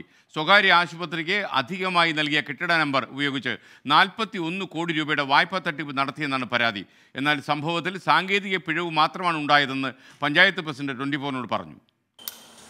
കോട്ടയത്തെ ഒരു സ്വകാര്യ ആശുപത്രിക്ക് വേണ്ടി രണ്ടായിരത്തി പതിമൂന്നിലാണ് അയ്മനം പഞ്ചായത്ത് കെട്ടിട നമ്പർ നൽകിയത്. പഴയ കെട്ടിടത്തിന്റെ നമ്പർ തിരുത്തി പുതിയ നമ്പർ നൽകിയത് വഴി കെട്ടിട ഉടമകൾ നാൽപ്പത്തിയൊന്ന് കോടി പതിനെട്ട് ലക്ഷം രൂപയുടെ വായ്പ തട്ടിയെടുത്തെന്നാണ് പരാതി. സംഭവത്തിൽ അയ്മനം പഞ്ചായത്ത് സെക്രട്ടറിയെ കൊച്ചിയിലെ ഓഫീസിൽ വിളിച്ചു വരുത്തി ഇ ഡി ചോദ്യം ചെയ്തു. അതേസമയം ക്രമക്കേട് നടന്നിട്ടില്ല എന്നാണ് ഇപ്പോഴത്തെ ഭരണസമിതിയുടെ പ്രതികരണം. സാങ്കേതിക പ്രശ്നങ്ങൾ മാത്രമാണ് ഉണ്ടായത്. ഇതിനകത്ത് എനിക്ക് തോന്നുന്നത് ഏതെങ്കിലും തരത്തിൽ ക്രമക്കേട് വന്നതായിട്ട് എനിക്ക് മനസ്സിലാക്കാൻ കഴിഞ്ഞിട്ടില്ല. ഞാൻ ഇങ്ങനൊരു ആരോപണം വന്നതിന് ശേഷം ഉദ്യോഗസ്ഥ തലത്തിലും ഡി ഡി പി അങ്ങനെയുള്ള അവരുമൊക്കെ ആയിട്ട് സംസാരിച്ചപ്പോൾ മനസ്സിലാക്കാൻ കഴിഞ്ഞ ഒരു വസ്തുതയാണ് ഞാൻ പറയുന്നത്. ഒറിജിനലായിട്ടുള്ള സംഭവം എന്ന് പറഞ്ഞാൽ പഴയ നമ്പർ കൊടുത്ത നമ്പർ സപ്ലിമെന്ററി ആക്കി നിയമപരമായിട്ടുള്ള ഭേദഗതി വരുത്തൽ മാത്രമേ അവിടെ നടന്നിട്ടുള്ളൂ. എന്നാൽ ക്രമക്കേട് ഉണ്ടായിട്ടില്ലെന്ന് പറയുമ്പോഴും വീഴ്ചയുടെ ഉത്തരവാദിത്തം ഉദ്യോഗസ്ഥർക്കാണെന്നും പഞ്ചായത്ത് പ്രസിഡന്റ് പറയുന്നു. കെട്ടിടം വെക്കുന്നതിന് പെർമിറ്റ് കൊടുക്കുന്നതോ അല്ലെങ്കിൽ കെട്ടിട നമ്പർ ഇടുന്നതിനോ ഒന്നും യാതൊരു പഞ്ചായത്ത് ഭരണസമിതികൾക്ക് ഇതിനകത്ത് ഒരു പങ്കുമില്ല ഇതൊക്കെ ഔദ്യോഗിക തലത്തിൽ ഉദ്യോഗസ്ഥരാണ് ഇങ്ങനെയുള്ള കാര്യങ്ങൾ കൃത്യനിർവഹണങ്ങൾ നിർവഹിക്കേണ്ടത്. സംഭവത്തിൽ കുറ്റക്കാർക്കെതിരെ കർശന നടപടി ആവശ്യപ്പെട്ട് പ്രത്യക്ഷ സമരത്തിനൊരുങ്ങുകയാണ് ബി ജെ പി. ഇതിന്റെയൊക്കെ സത്യാവസ്ഥ പുറത്തു കൊണ്ടുവരുവാനും അതുപോലെ തന്നെ ജനങ്ങളെ ബോധിപ്പിക്കുവാനും മേലിൽ ഇങ്ങനെയുള്ള തെറ്റായ പ്രവണതകൾ ഉണ്ടായിട്ടുണ്ടെങ്കിൽ അത് ആവർത്തിക്കാതിരിക്കും ഇരിക്കാനും ഒക്കെയായിട്ട് ഭാരതീയ ജനതാ പാർട്ടി ഐമനം പഞ്ചായത്ത് കമ്മിറ്റി ഇതിനെതിരെ ശക്തമായ സമരപരിപാടികളുമായി മുന്നോട്ട് പോവുകയാണ്. രണ്ടായിരത്തി പതിമൂന്ന് മുതൽ ഐമനം പഞ്ചായത്ത് സെക്രട്ടറിമാരായിരുന്നവരിൽ നിന്ന് ഇ ഡി മൊഴിയെടുക്കാനും തീരുമാനിച്ചിട്ടുണ്ട്. നിലവിൽ ആശുപത്രി ഉടമകൾക്കിടയിലെ തർക്കവും സാമ്പത്തിക തട്ടിപ്പ് പരാതികളും ഇ ഡി അന്വേഷിച്ചു വരികയാണ്. Twenty Kottayam. Advocate Mathew Emmanuel Kuruppumadam അദ്ദേഹം ഒരു സംശയം ചോദിച്ചിരിക്കുന്നു. മറുപടി പറയാൻ വലിയ പാടുള്ള ഒരു സംശയമാണ്. മനുഷ്യനാണോ മൃഗത്തിനാണോ മുൻതൂക്കം മുൻതൂക്കം കൊടുക്കേണ്ടത്? എസ് കെ പ്ലീസ് ആൻസർ എന്ത് കാര്യത്തിലാണ് താങ്കളെ ചോദ്യം ചോദിച്ചത്? എന്നിരുന്നാലും പൊതുവെ ഒരു കാര്യം പറയാം. മനുഷ്യന് തന്നെ പ്രയോറിറ്റി കൊടുക്കണം. ഇപ്പോൾ സമയം ഒൻപത് മണി കഴിഞ്ഞ് പത്തൊൻപത് മിനിറ്റ് വയനാട് തവിഞ്ഞാൽ ഗ്രാമപഞ്ചായത്ത് പരിധിയിലെ പ്രൊഫഷണൽ കോളേജ് ഒഴികെയുള്ള മുഴുവൻ വിദ്യാഭ്യാസ സ്ഥാപനങ്ങൾക്കും ഇന്ന് ജില്ലാ കളക്ടർ അവധി പ്രഖ്യാപിച്ചു. കനത്ത മഴ തുടരുന്ന പശ്ചാത്തലത്തിലാണ് ഈ തീരുമാനം. ജില്ലയിൽ ദുരിതാശ്വാസ ക്യാമ്പുകളായി പ്രവർത്തിക്കുന്ന സ്കൂളുകൾക്കും ഇന്ന് അവധിയാണ്. വിശദാംശങ്ങളുമായി വയനാട് നിന്ന് ദീപക് മലയമ്മ ചേരുന്നു. ദീപക് കൂടുതൽ വിവരങ്ങൾ ആ, എസ് കെ എൻ കഴിഞ്ഞ ദിവസങ്ങളിലായി ശക്തമായ മഴയാണ് ജില്ലയിലുള്ളത്. അതിന്റെ കൂടി പശ്ചാത്തലത്തിലാണ് ഇന്ന് തവിഞ്ഞാൽ ഗ്രാമപഞ്ചായത്തിലെ പ്രൊഫഷണൽ കോളേജുകൾ ഒഴി- ഒഴികെയുള്ള സ്കൂളുകൾക്ക് അവധി ജില്ലാ കളക്ടർ പ്രഖ്യാപിച്ചിരിക്കുന്നത്. ഇന്നലെ തന്നെ ജില്ലയിൽ ക്യാമ്പുകളായി പ്രവർത്തിക്കുന്ന സ്കൂളുകൾക്ക് അവധി പ്രഖ്യാപിക്കുന്ന സാഹചര്യം ഉണ്ടായിരുന്നു. ഇതുവരെ ഏഴ് ക്യാമ്പുകളിൽ നിന്നായിട്ട് തൊണ്ണൂറ്റിയാറ് കുടുംബങ്ങളാണ് ദുരിതാശ്വാസ ക്യാമ്പുകളിൽ മാറ്റി പാർപ്പിച്ചിട്ടുള്ളത്. അത് ഉരുൾപൊട്ടൽ ഭീഷണി അടക്കമുള്ള പ്രദേശങ്ങളിൽ നിന്നുള്ള ആളുകളെയാണ് ഇത്തരം ക്യാമ്പുകളിലേക്ക് പാർപ്പിച്ചിരിക്കുന്നത്. അതിൽ ആറെണ്ണം വൈത്തിരി താലൂക്കിലാണ് ക്യാമ്പുള്ളത്. ഒന്ന് ബത്തേരി താലൂക്കിലുമാണ്. കഴിഞ്ഞ ദിവസം പടിഞ്ഞാറത്തറ മേഖലയിൽ കനത്ത രീതിയിലുള്ള മഴ പെയ്യുന്ന സാഹചര്യം ഉണ്ടായിരുന്നു. കോട്ടത്തറ വെങ്ങപ്പള്ളി ഉൾപ്പെടെയുള്ള പഞ്ചായത്തുകളിലും ശക്തമായ മഴയാണ് ഉണ്ടായിട്ടുള്ളത്. താഴ്ന്ന പ്രദേശങ്ങൾ വെള്ളത്തിനടിയിലാകുന്ന സാഹചര്യവും കൂടി കണക്കിലെടുത്തുകൊണ്ടാണ് ഇത്തരത്തിലൊരു നിർദ്ദേശം മുന്നോട്ട് വച്ചിരിക്കുന്നത്. ഏതെങ്കിലും അപകടകരമായ സാഹചര്യം ഒഴിവാക്കുക എന്നുള്ളതാണ് ഈ നിർദ്ദേശത്തിന് പിന്നിലുള്ള ലക്ഷ്യമെന്ന് പറയുന്നത്. ഇന്നലെ ഡി ഡി എം എ വൈകുന്നേരം മീറ്റിംഗ് ചേർന്ന ഘട്ടത്തിൽ പല തീരുമാനങ്ങൾ കൈക്കൊണ്ടിട്ടുണ്ടായിരുന്നു. അതിലൊന്ന് എന്നൂര് പൈതൃക ഗ്രാമത്തിലേക്ക് പ്രവേശനം നിരോധിക്കണം എന്നുള്ളതാണ്. അത് പരിസ്ഥിതി ലോല പ്രദേശമാണ്. അതുകൊണ്ട് തന്നെ വിനോദസഞ്ചാരികൾ എത്തുന്നത് ഒരു പക്ഷേ അപകടമുണ്ടാക്കാനുള്ള സാധ്യത ഉണ്ടായേക്കാം എന്നുള്ളതുകൊണ്ടാണ് അത്തരത്തിൽ ഒരു തീരുമാനം എടുത്തത്. തൊള്ളായിരം കണ്ടിയിലേക്ക് ഇനിയൊരു ഒരു അറിയിപ്പ് ഉണ്ടാകുന്നതുവരെ പ്രവേശനം നൽകരുത് എന്നുള്ള നിർദ്ദേശം ഡി ഡി എം എ യോഗത്തിൽ ഉയർന്നു വന്നു. അതുകൊണ്ട് തന്നെ ഇന്നു മുതൽ ഇനി ഒരു അറിയിപ്പ് ഉണ്ടാകുന്നതുവരെ തൊള്ളായിരം കണ്ടി മേഖലയിലേക്ക് പ്രവേശനം ഉണ്ടാകില്ല. അത്തരത്തിൽ ഒരു മുൻകരുതലിന്റെ ഭാഗമായാണ് ഇപ്പോൾ തവിഞ്ഞാൽ ഗ്രാമപഞ്ചായത്തിലെ പ്രൊഫഷണൽ കോളേജുകൾ ഒഴികെയുള്ള മറ്റ് വിദ്യാഭ്യാസ സ്ഥാപനങ്ങൾക്ക് അവധി നൽകിയിരിക്കുന്നത്. ജില്ലയിലെ എല്ലാ വിദ്യാഭ്യാസ സ്ഥാപനങ്ങൾക്കും അവധി അല്ല. ക്യാമ്പുകൾ പ്രവർത്തിക്കുന്ന വിദ്യാഭ്യാസ സ്ഥാപനങ്ങൾക്കും ഒപ്പം തവിഞ്ഞാൽ ഗ്രാമപഞ്ചായത്തിലെ പ്രൊഫഷണൽ കോളേജുകൾ ഒഴികെയുള്ള മറ്റ് വിദ്യാഭ്യാസ സ്ഥാപനങ്ങൾക്കും മാത്രമാണ് അവധി ഈ ഒരു ഘട്ടത്തിൽ ജില്ലാ കളക്ടർ പ്രഖ്യാപിച്ചിരിക്കുന്നത്. S K. Thank you Deepak Malayamma. ഒരു ഇടവേളയ്ക്ക് പോകുന്നതിനും ഒരു കാര്യം കെ പി വിശ്വനാഥൻ ഒരു യൂട്യൂബ് വഴി ഒരു കാര്യം അറിയിച്ചിരിക്കുന്നു. പാലിയക്കര മുതൽ എറണാകുളം വരെയുള്ള റോഡ് ഇപ്പോൾ കുറച്ച് മോശമായി കിടക്കുന്നു. കുഴികൾ വളരെ ഉണ്ട്. ബൈക്ക് യാത്രക്കാർ ശ്രദ്ധിക്കണമെന്നാണ് അദ്ദേഹം പറഞ്ഞിരിക്കുന്നത്. അതുവഴി പോകുന്ന വാഹനം ഓടിക്കുന്ന ആളുകളൊക്കെ ശ്രദ്ധിക്കുക. ഇനി ഒരു ഇടവേളയാണ്. ഇടവേള കഴിഞ്ഞു വരുമ്പോൾ അന്തർദേശീയ വാർത്തകൾ അപകീർത്തിക്കാൻ പി പി ജെയിംസ് ചേരും. പ്രത്യേകിച്ചും ശ്രീലങ്കൻ പ്രസിഡന്റ് ഗോതബായ രജപക്സെ സിംഗപ്പൂരിലേക്ക് തിരിക്കുന്നു എന്ന വാർത്ത വരുന്നു. മാത്രമല്ല ആക്ടിംഗ് പ്രസിഡന്റ് റിനിൽ വിക്രമസിംഗയ്ക്കെതിരെയും പ്രക്ഷോഭം രൂക്ഷമാകുന്നു. ശ്രീലങ്കയിൽ പ്രതിസന്ധി രൂക്ഷമാകുന്നു. അവിടെ പട്ടാളം അധികാരം ഏറ്റെടുത്തേക്കുമെന്ന സൂചന പോലും ലഭിക്കുന്ന ഒരു സാഹചര്യം നിലനിൽക്കുന്നു. ഈ വാർത്തയുടെ കൂടുതൽ ആധികാരികമായ വിശകലനത്തിന് വേണ്ടി പി പി ജെയിംസ് ഇടവേളയ്ക്ക് ശേഷം വരുന്നുണ്ട്. ഇനി നമ്മൾ അന്താരാഷ്ട്ര വാർത്തകളിലേക്ക് ആദ്യം ശ്രീലങ്കയിലേക്ക്. ശ്രീലങ്കൻ പ്രസിഡന്റ് ഗോതബായ രജപക്സെ സിംഗപ്പൂരിലേക്ക് കടന്നു എന്ന രീതിയിൽ വാർത്തകൾ വരുന്നു. എന്നാൽ ഇതൊന്നും സ്ഥിരീകരിച്ച റിപ്പോർട്ടാണ് എന്ന് നമുക്ക് പറയാൻ കഴിയില്ല. അതേസമയം ആക്ടിംഗ് പ്രസിഡന്റ് റെനിൽ വിക്രമസിംഗയ്ക്കെതിരെയും ശ്രീലങ്കയിലെ പ്രക്ഷോഭം രൂക്ഷമാകുന്നു എന്ന് ഞങ്ങളുടെ വാർത്താ സംഘം റിപ്പോർട്ട് ചെയ്യുന്നുണ്ട്. സൈന്യം അധികാരം ഏറ്റെടുക്കുമെന്ന പ്രചാരണവും ശ്രീലങ്കയിൽ ഇപ്പോൾ വ്യാപകമാകുന്നു. കൊളംബോയിൽ നമ്മുടെ വാർത്താ സംഘമുണ്ട്. അവർ ചില റിപ്പോർട്ടുകൾ നൽകിയിരുന്നു. ബൈജു കൊട്ടാരക്കരയുടെ റിപ്പോർട്ടും ഉണ്ടായിരുന്നു. P P James good morning. ശ്രീലങ്കയിൽ സ്ഥിതി. അതിരൂക്ഷമാകുന്നു എന്നാണ് കാര്യങ്ങൾ മനസ്സിലാക്കുന്നത്. മാത്രമല്ല പട്ടാളം ജനങ്ങൾക്കൊപ്പമാണ്. S K. എൻ ഈ അവിടെ ഒരു രാജ്യത്തിന്റെ പ്രസിഡന്റ് ഒരു രാജ്യത്ത് നിന്ന് വേറെ രാജ്യത്തേക്ക് അവിടെ നിന്ന് വേറെ രാജ്യത്തേക്ക് ഓടി നെട്ടോട്ടം ഓടുന്ന അവസ്ഥയാണ് നമ്മൾ കാണുന്നത്. പ്രത്യേകിച്ച് രണ്ടായിരത്തി പത്തൊമ്പതിൽ അറുപത് ശതമാനം ശ്രീലങ്കൻ വോട്ടുകൾ നേടി ജയിച്ച ഒരു പ്രസിഡന്റിന്റെ ഗതികേടാണ് മൂന്ന് വർഷം കൊണ്ടാണ് ഇത് സംഭവിച്ചത്. ഒരു രാജ്യം എങ്ങനെ കുട്ടിച്ചോറാക്കാമെന്ന് പഠിക്കണമെങ്കിൽ യഥാർത്ഥത്തിൽ ഗോത്തബായ രാജപാക്സയുടെ സ്കൂളിൽ പോയിരിക്കണം. കാരണം അതുപോലെ മൂന്ന് മൂന്ന് വർഷം കൊണ്ട് രാജ്യത്തെ കുട്ടിച്ചോറാക്കി കളഞ്ഞു. അദ്ദേഹം ആദ്യം മാലിയിലേക്കാണ് സൈനിക വിമാനത്തിൽ പോയത്. അവിടെ നിന്ന് സിംഗപ്പൂർ എയർലൈൻസിൽ ഇന്ന് രാവിലെ സിംഗപ്പൂർക്ക് പോകുമെന്നായിരുന്നു വാർത്തകൾ ഉണ്ടായിരുന്നത് പക്ഷേ അദ്ദേഹം അതിൽ കയറിയില്ല. ഒരു സ്വകാര്യ ജെറ്റിൽ പോകാനാണ് ഇപ്പോൾ അവസാനം പരിപാടി ഇട്ടിരിക്കുന്നത് പോയെന്നും പോകാൻ നിൽക്കുന്നു എന്നുള്ള വാർത്തകളാണ് ഇപ്പോൾ വന്നുകൊണ്ടിരിക്കുന്നത്. എന്തായാലും അദ്ദേഹം സിംഗപ്പൂർ പോകുന്നുള്ള കാര്യത്തിൽ യാതൊരു സംശയവുമില്ല. ഒപ്പം തന്നെ മാലിയിലേക്ക് പ്രസിഡന്റ് രക്ഷപ്പെട്ടതിന് പിന്നിൽ ഇന്ത്യ ഉണ്ടെന്നൊരു പ്രചരണം നടന്നിരുന്നു. പക്ഷേ ഇന്ത്യ വളരെ ശക്തമായിട്ട് അത് നിഷേധിച്ചു. ശ്രീലങ്കൻ ജനതയോടൊപ്പമാണ് എന്നും ഇന്ത്യ ഭരണാധികാരികളെ നോക്കിയല്ല ഇന്ത്യ നിലപാടുകൾ എടുക്കുന്നത് എന്നുള്ള വ്യക്തമായിട്ടുള്ള നിലപാട് ഇന്ത്യയുടേതായിട്ട് വന്നിട്ടുണ്ട്. എന്തായാലും മാലദ്വീപിൽ അദ്ദേഹത്തിന് എതിരെ അവിടുത്തെ പ്രതിപക്ഷ കക്ഷികൾ സമരവും പ്രക്ഷോഭം ആരംഭിക്കുന്നത് കണ്ടപ്പോഴാണ് അദ്ദേഹം മാലിയിൽ നിന്ന് ഇപ്പോൾ സിംഗപ്പൂരിലേക്ക് പോകുന്നത്. അവിടെ നിന്ന് അമേരിക്കയിലേക്ക് കടക്കാനാണ് തീരുമാനം അദ്ദേഹം അമേരിക്കൻ പൗരനായിരുന്നു നേരത്തെ. പക്ഷേ അമേരിക്കയും അദ്ദേഹത്തിന് വിസ നൽകിയിട്ടില്ല. ഇങ്ങനെ ഒരുപാട് പ്രശ്നങ്ങളിൽ പെട്ട് കിടക്കുമ്പോഴും ശ്രീലങ്കയിൽ അവിടുത്തെ പ്രധാനമന്ത്രിയായിരുന്ന റെനിൽ വിക്രം സിംഗ് ആക്ടിംഗ് പ്രസിഡന്റായി അധികാരമേറ്റത് പ്രക്ഷോഭകാരികളെ ഞെട്ടിപ്പിച്ചിരിക്കുകയാണ്. അദ്ദേഹം ഇന്നലെ രാജിവെക്കുമെന്ന് നേരത്തെ പ്രഖ്യാപിച്ചിരുന്നതാണ്. ഗോതബായ രാജപാക്സയും ഇന്നലെ രാജിവെക്കുമെന്ന് പ്രഖ്യാപിച്ചു. രണ്ടുപേരും വാക്ക് തെറ്റിച്ചു. മറ്റാൾ പ്രസിഡന്റായിട്ട് തുടരുന്നു. ആക്ടിംഗ് പ്രസിഡന്റ് സ്ഥാനം ഗോതബായ നൽകിയിരിക്കുന്നത് റണിൽ വിക്രമസിംഗെ എന്ന പ്രധാനമന്ത്രിക്കാണ്. അദ്ദേഹം രാജിവെച്ചിട്ടില്ല. അദ്ദേഹത്തിന്റെ ഓഫീസ് ഔദ്യോഗിക ഓഫീസ് ഇന്നലെ ജനം കയ്യേറിയിരുന്നു. അവർ മന്ത്രിസഭാ യോഗമൊക്കെ പ്രതീകാത്മകമായിട്ട് അവിടെ നടത്തുകയും ചെയ്തു. അപ്പോൾ പ്രസിഡന്റിന്റെ ഔദ്യോഗിക വസതിയും അതുപോലെ തന്നെ ഔദ്യോഗികമായിട്ട് പ്രധാനമന്ത്രിയുടെ ഓഫീസും ഇപ്പോൾ പ്രക്ഷോഭകരുടെ കയ്യിലാണ്. അവിടുത്തെ ദൂരദർശൻ എന്ന് പറയപ്പെടാവുന്ന രൂപവാഹിനി നമ്മുടെ ദൂരദർശൻ പോലെ ഔദ്യോഗിക ടെലിവിഷൻ മാധ്യമം പ്രക്ഷോഭകർ പിടിച്ചടക്കിയിരിക്കുന്നു. അതിന്റെ പ്രക്ഷേപണം നിർത്തിവെച്ചു. എന്തായാലും വലിയ രീതിയിൽ പ്രക്ഷോഭം നടക്കുകയാണ്. ജനങ്ങൾ മുഴുവൻ തെരുവിലാണ്. കൊളംബോയിലേക്ക് ആൾക്കാരുടെ എണ്ണം കൂടിക്കൊണ്ടിരിക്കുന്നു. ഇതിന്റെയൊക്കെ പശ്ചാത്തലത്തിലാണ് ഇനി എന്ത് എന്നുള്ളൊരു ചർച്ച വരുന്നത്. എന്തായാലും ആക്ടിംഗ് പ്രസിഡന്റായിട്ടുള്ള റനിൽ വിക്രമസിംഗെ ഏറ്റവും അവസാനം പറഞ്ഞത് പുതിയ പ്രസിഡന്റിനെ ജൂലൈ ഇരുപതിന് തെരഞ്ഞെടുക്കുന്നതോടെ താൻ പിന്മാറുമെന്നാണ്. സ്പീക്കറുടെ പേരുണ്ട്. പക്ഷേ അദ്ദേഹത്തിന് അത്രയും പിന്തുണ കിട്ടിയതായിട്ട് അറിയുന്നില്ല. വേറെ ചില പേരുകളും ഉയർന്നു വരുന്നുണ്ട്. പക്ഷെ അതൊന്നും ഇപ്പോഴും ഹമ്പൻ തോട്ടയിലെ എം പിയുടെ പേര് ഉയർന്നു വന്നിട്ടുണ്ട്. ഏറ്റവും കൂടുതൽ അറിയ കേൾക്കുന്ന പേര് പ്രതിപക്ഷ നേതാവ് സജിത പ്രേമദാസയുടെയാണ് അദ്ദേഹം അതിന് തയ്യാറായിട്ടുണ്ട്. പക്ഷേ അദ്ദേഹത്തിന്റെ കയ്യിൽ അൻപത്തിമൂന്ന് എം പിമാരാണുള്ളത്. മൊത്തം ഇരുന്നൂറ്റി ഇരുപത്തഞ്ച് അംഗ പാർലമെന്റിലെ ഭൂരിപക്ഷം കിട്ടിയാലാണ് പ്രസിഡന്റായി തിരഞ്ഞെടുക്കപ്പെടുകയുള്ളൂ. അതിൽ നൂറ്റിമൂന്ന് പേര് രാജപക്ഷ യുടെ പ- പക്ഷക്കാരാണ്. രാജപക്സയിൽ നിന്ന് പക്ഷേ ഈ നൂറ്റിമൂന്ന് പേരിൽ നാൽപ്പത്തി മൂന്ന് പേര് വേറെ ഒരു ഗ്രൂപ്പായി തിരിഞ്ഞ് സ്വതന്ത്ര എം പിമാർ എന്ന് അവകാശപ്പെടുന്നു. ആ സ്വതന്ത്ര എം പിമാരുടെ പിന്തുണ പ്രേമദാസിക്ക് ലഭിക്കുകയും തമിഴ് അലയൻസ് എന്ന പേർക്ക് പത്ത് എം പിമാരുണ്ട്. അവരുടെയും കൂടി പിന്തുണ ലഭിച്ചാൽ ഒരുപക്ഷെ സജിത് പ്രേമദാസ പ്രസിഡന്റായി ജൂലൈ ഇരുപതിന് തിരഞ്ഞെടുക്കപ്പെടാനുള്ള സാധ്യതയുണ്ട്. അതാണ് ഇപ്പോൾ ഒരു സാധ്യത. ജനങ്ങൾ വിശ്വസിക്കുന്ന ഒരു നേതാവ് സജിത് പ്രേമദാസിയാണ്. ആയിരത്തി തൊള്ളായിരത്തി എഴുപത്തെട്ട് മുതൽ എൺപത്തെട്ട് വരെ പ്രധാനമന്ത്രിയായിരുന്ന രണസിംഗെ പ്രേമദാസയുടെ മകനാണ് അദ്ദേഹം.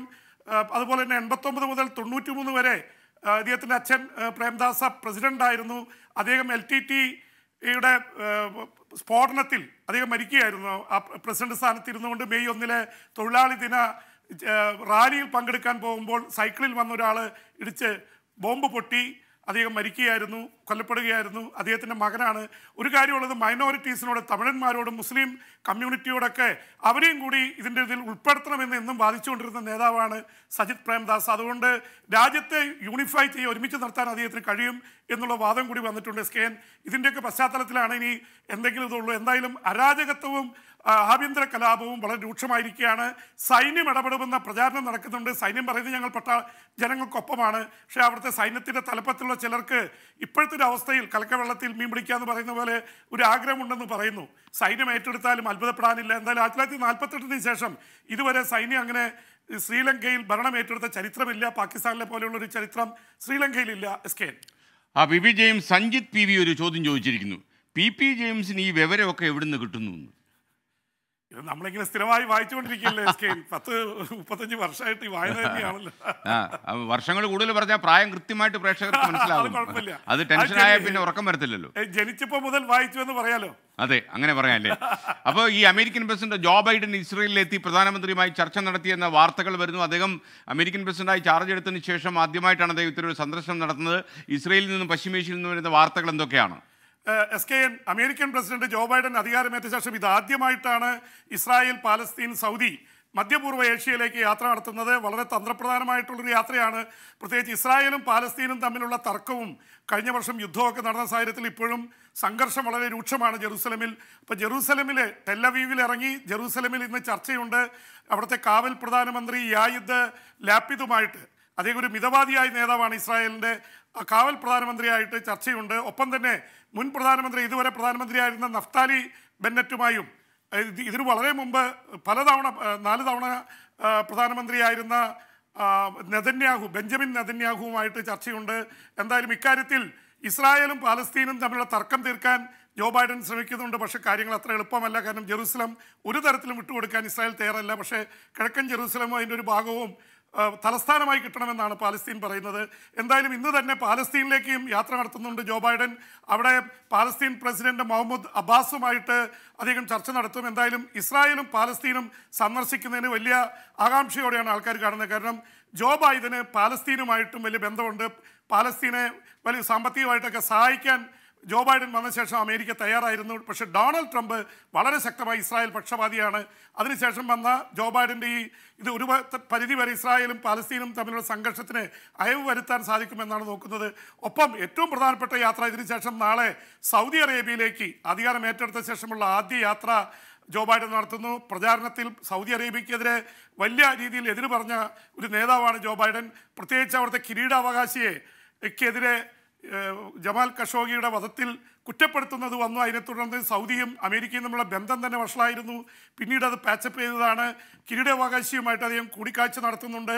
സൗദി ലോകത്തിലെ ഏറ്റവും കൂടുതൽ പെട്രോൾ ഉൽപ്പാദിപ്പിക്കുന്ന അല്ലെങ്കിൽ എണ്ണ ഉൽപ്പാദിപ്പിക്കുന്ന രാജ്യങ്ങളിൽ ഒന്നാണ്. അപ്പോൾ സൗദിയിൽ നിന്ന് എണ്ണയുടെ കൂടുതൽ എണ്ണ ഉൽപ്പാദിപ്പിക്കാനും എണ്ണയുടെ വില കുറയ്ക്കാനുമുള്ള നീക്കങ്ങൾക്ക് വേണ്ടിയാണ് ഈ വരവ് യഥാർത്ഥത്തിൽ. അത് അമേരിക്കയിലൊക്കെ എണ്ണയുടെ വില വലിയ രീതിയിൽ കൂടിയിരിക്കുന്നു. ഇത് ഇതുവരെ സൗദി വഴങ്ങിയിട്ടില്ല. നേരിട്ട് ഫോൺ വിളിച്ചിട്ട് ഫോൺ എടുക്കാൻ പോലും സൗദിയിലെ ഭരണാധികാരികൾ തയ്യാറായിരുന്നില്ല. അതിനിടെയാണ് ഈ സന്ദർശനം നടക്കുന്നത്. അതുകൊണ്ട് എല്ലാവരും ഉറ്റുനോക്കുകയാണ്. എന്ന് മാത്രമല്ല ഇറാനുമായിട്ടൊരു ഡീൽ സ്ട്രൈക്ക് ചെയ്യാനായിട്ട് അമേരിക്ക ശ്രമിച്ചിരുന്നു. ആണവ കരാറിന്റെ കാര്യത്തിൽ. രണ്ടായിരത്തി പതിനെട്ടിൽ ഡൊണാൾഡ് ട്രംപ് അതിൽ നിന്ന് ഒഴിഞ്ഞുപോയ ശേഷം. പക്ഷേ ഇറാനുമായി അടുക്കുന്നതിന് ഇസ്രായേലോ സൗദി അറേബ്യയോ യു എ ഇയോ ബഹ്റിനോ ഒന്നും അനുകൂലിക്കുന്നില്ല. അതിന്റെ പേരിലാണ് അബ്രാഹം അക്കോർഡ് വരികയും ഇസ്രായേലും മറ്റ് ഗൾഫ് രാജ്യങ്ങളും തമ്മിലുള്ള ബന്ധം ശക്തമാവുകയും ചെയ്തത്. കാരണം ഇറാനെ നേരിടാൻ സൗദിക്കും അതുപോലെ തന്നെ യു എ ഇക്കൊക്കെ ഇസ്രായേലിന്റെ സപ്പോർട്ട് വേണം. അങ്ങനെ ഒരു ഫോർമേഷൻ ഉണ്ടാവാൻ തന്നെ കാരണം ഇറാനുമായിട്ട് അമേരിക്ക അടുക്കുന്നു എന്നൊരു ഫീലിംഗ് ഉണ്ടായതിന്റെ പുറത്താണ്. അപ്പോൾ ഇറാനെ മാറ്റി നിർത്തി സൗദിയെയും ഇസ്രായേലിനെയും കൂടുതൽ അടുത്ത് നിർത്താൻ കൂടിയായിരിക്കും ജോ ബൈഡൻ ശ്രമിക്കുക. S K N P P James മറ്റൊരു കോംപ്ലിമെന്റ് വന്നിട്ടുണ്ട്. യൂട്യൂബിൽ അവർ പറയുന്നു പി പി ജെയിംസ് ഒരു ജ്യോതിഷ പണ്ഡിതനാണ്.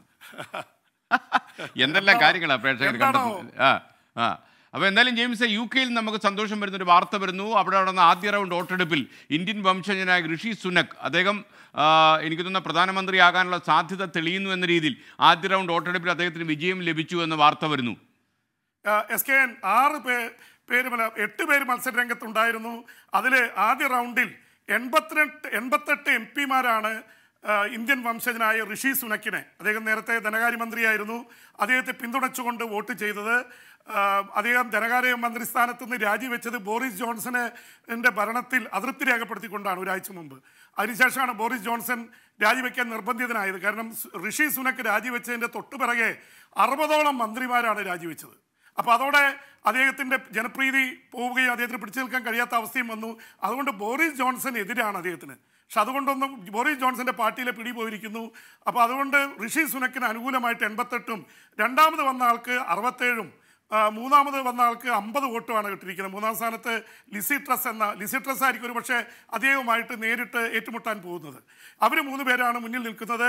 തോറ്റുപോയ ജെറമി ഹണ്ട് എന്ന വലിയ നേതാവായിരുന്നു. ആദ്യ റൗണ്ടിൽ പുറത്തായ ആൾ ഋഷി സുനക്കിന് പിന്തുണ പ്രഖ്യാപിച്ചിട്ടുണ്ട്. സാധ്യതകൾ കാണുന്നത് ഋഷി സുനക്കിന് അനുകൂലമായിട്ടാണ്. പിന്നെ ഇന്ത്യൻ വംശജന് വേണ്ടെന്നൊക്കെ മറ്റേ സായിപ്പ് തീരുമാനിച്ചാൽ നമുക്കൊന്നും പറയാൻ പറ്റില്ല. ഇപ്പോഴത്തെ സാധ്യത അനുസരിച്ച് ആ രീതിയിലാണ് കാരണം ബ്രിട്ടനിലെ പണപ്പെരുപ്പം വളരെ രൂക്ഷമാണ്. ഋഷി സുനക്ക് നല്ല ധനകാര്യ വിദഗ്ധനാണ്. കോവിഡ് കാലത്ത് ബോറിസ് ജോൺസൺ പരാജയപ്പെട്ടപ്പോൾ അവിടുത്തെ ദശലക്ഷക്കണക്കിന് ജോലികൾ നഷ്ടപ്പെടുത്താതെ ബ്രിട്ടീഷുകാരെ രക്ഷിച്ചു നിർത്തിയത് ഋഷി സുനക്കിന്റെ പാക്കേജുകളാണ്.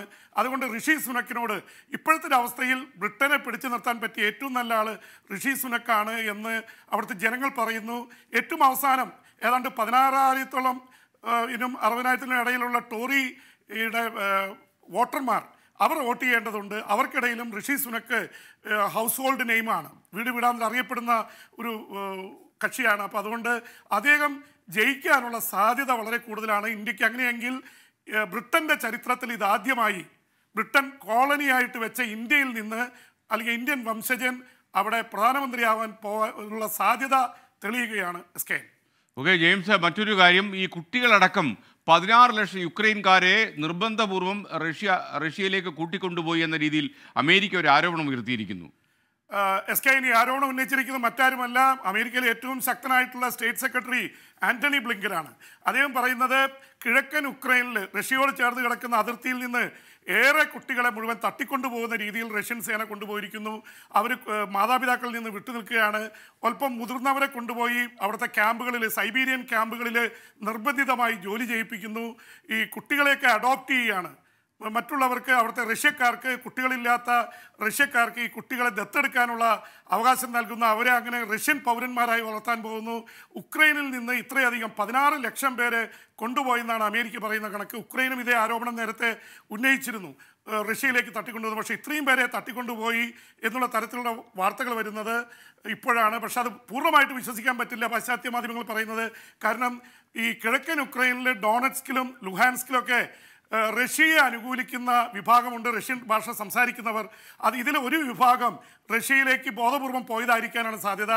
എന്തായാലും അതിൽ പകുതി പേരെയെങ്കിലും റഷ്യ തട്ടിക്കൊണ്ടുപോയി എന്ന് വേണമെങ്കിൽ പറയാം. ഈ രീതിയിലേ നമുക്ക് കാണാൻ സാധിക്കുള്ളൂ പിന്നെ വളരെ നല്ലൊരു വാർത്ത വരുന്ന എസ് കെ എൻ ഈ റഷ്യയും ഉക്രൈനും തമ്മിൽ തുർക്കിയിൽ വെച്ച് ഈ മണിക്കൂറുകളിൽ ചർച്ച നടന്നിരുന്നു. പല കാര്യങ്ങളിൽ അവർ യോജിച്ചില്ല. യുദ്ധം തുടർന്നുകൊണ്ടേയിരിക്കുന്നു.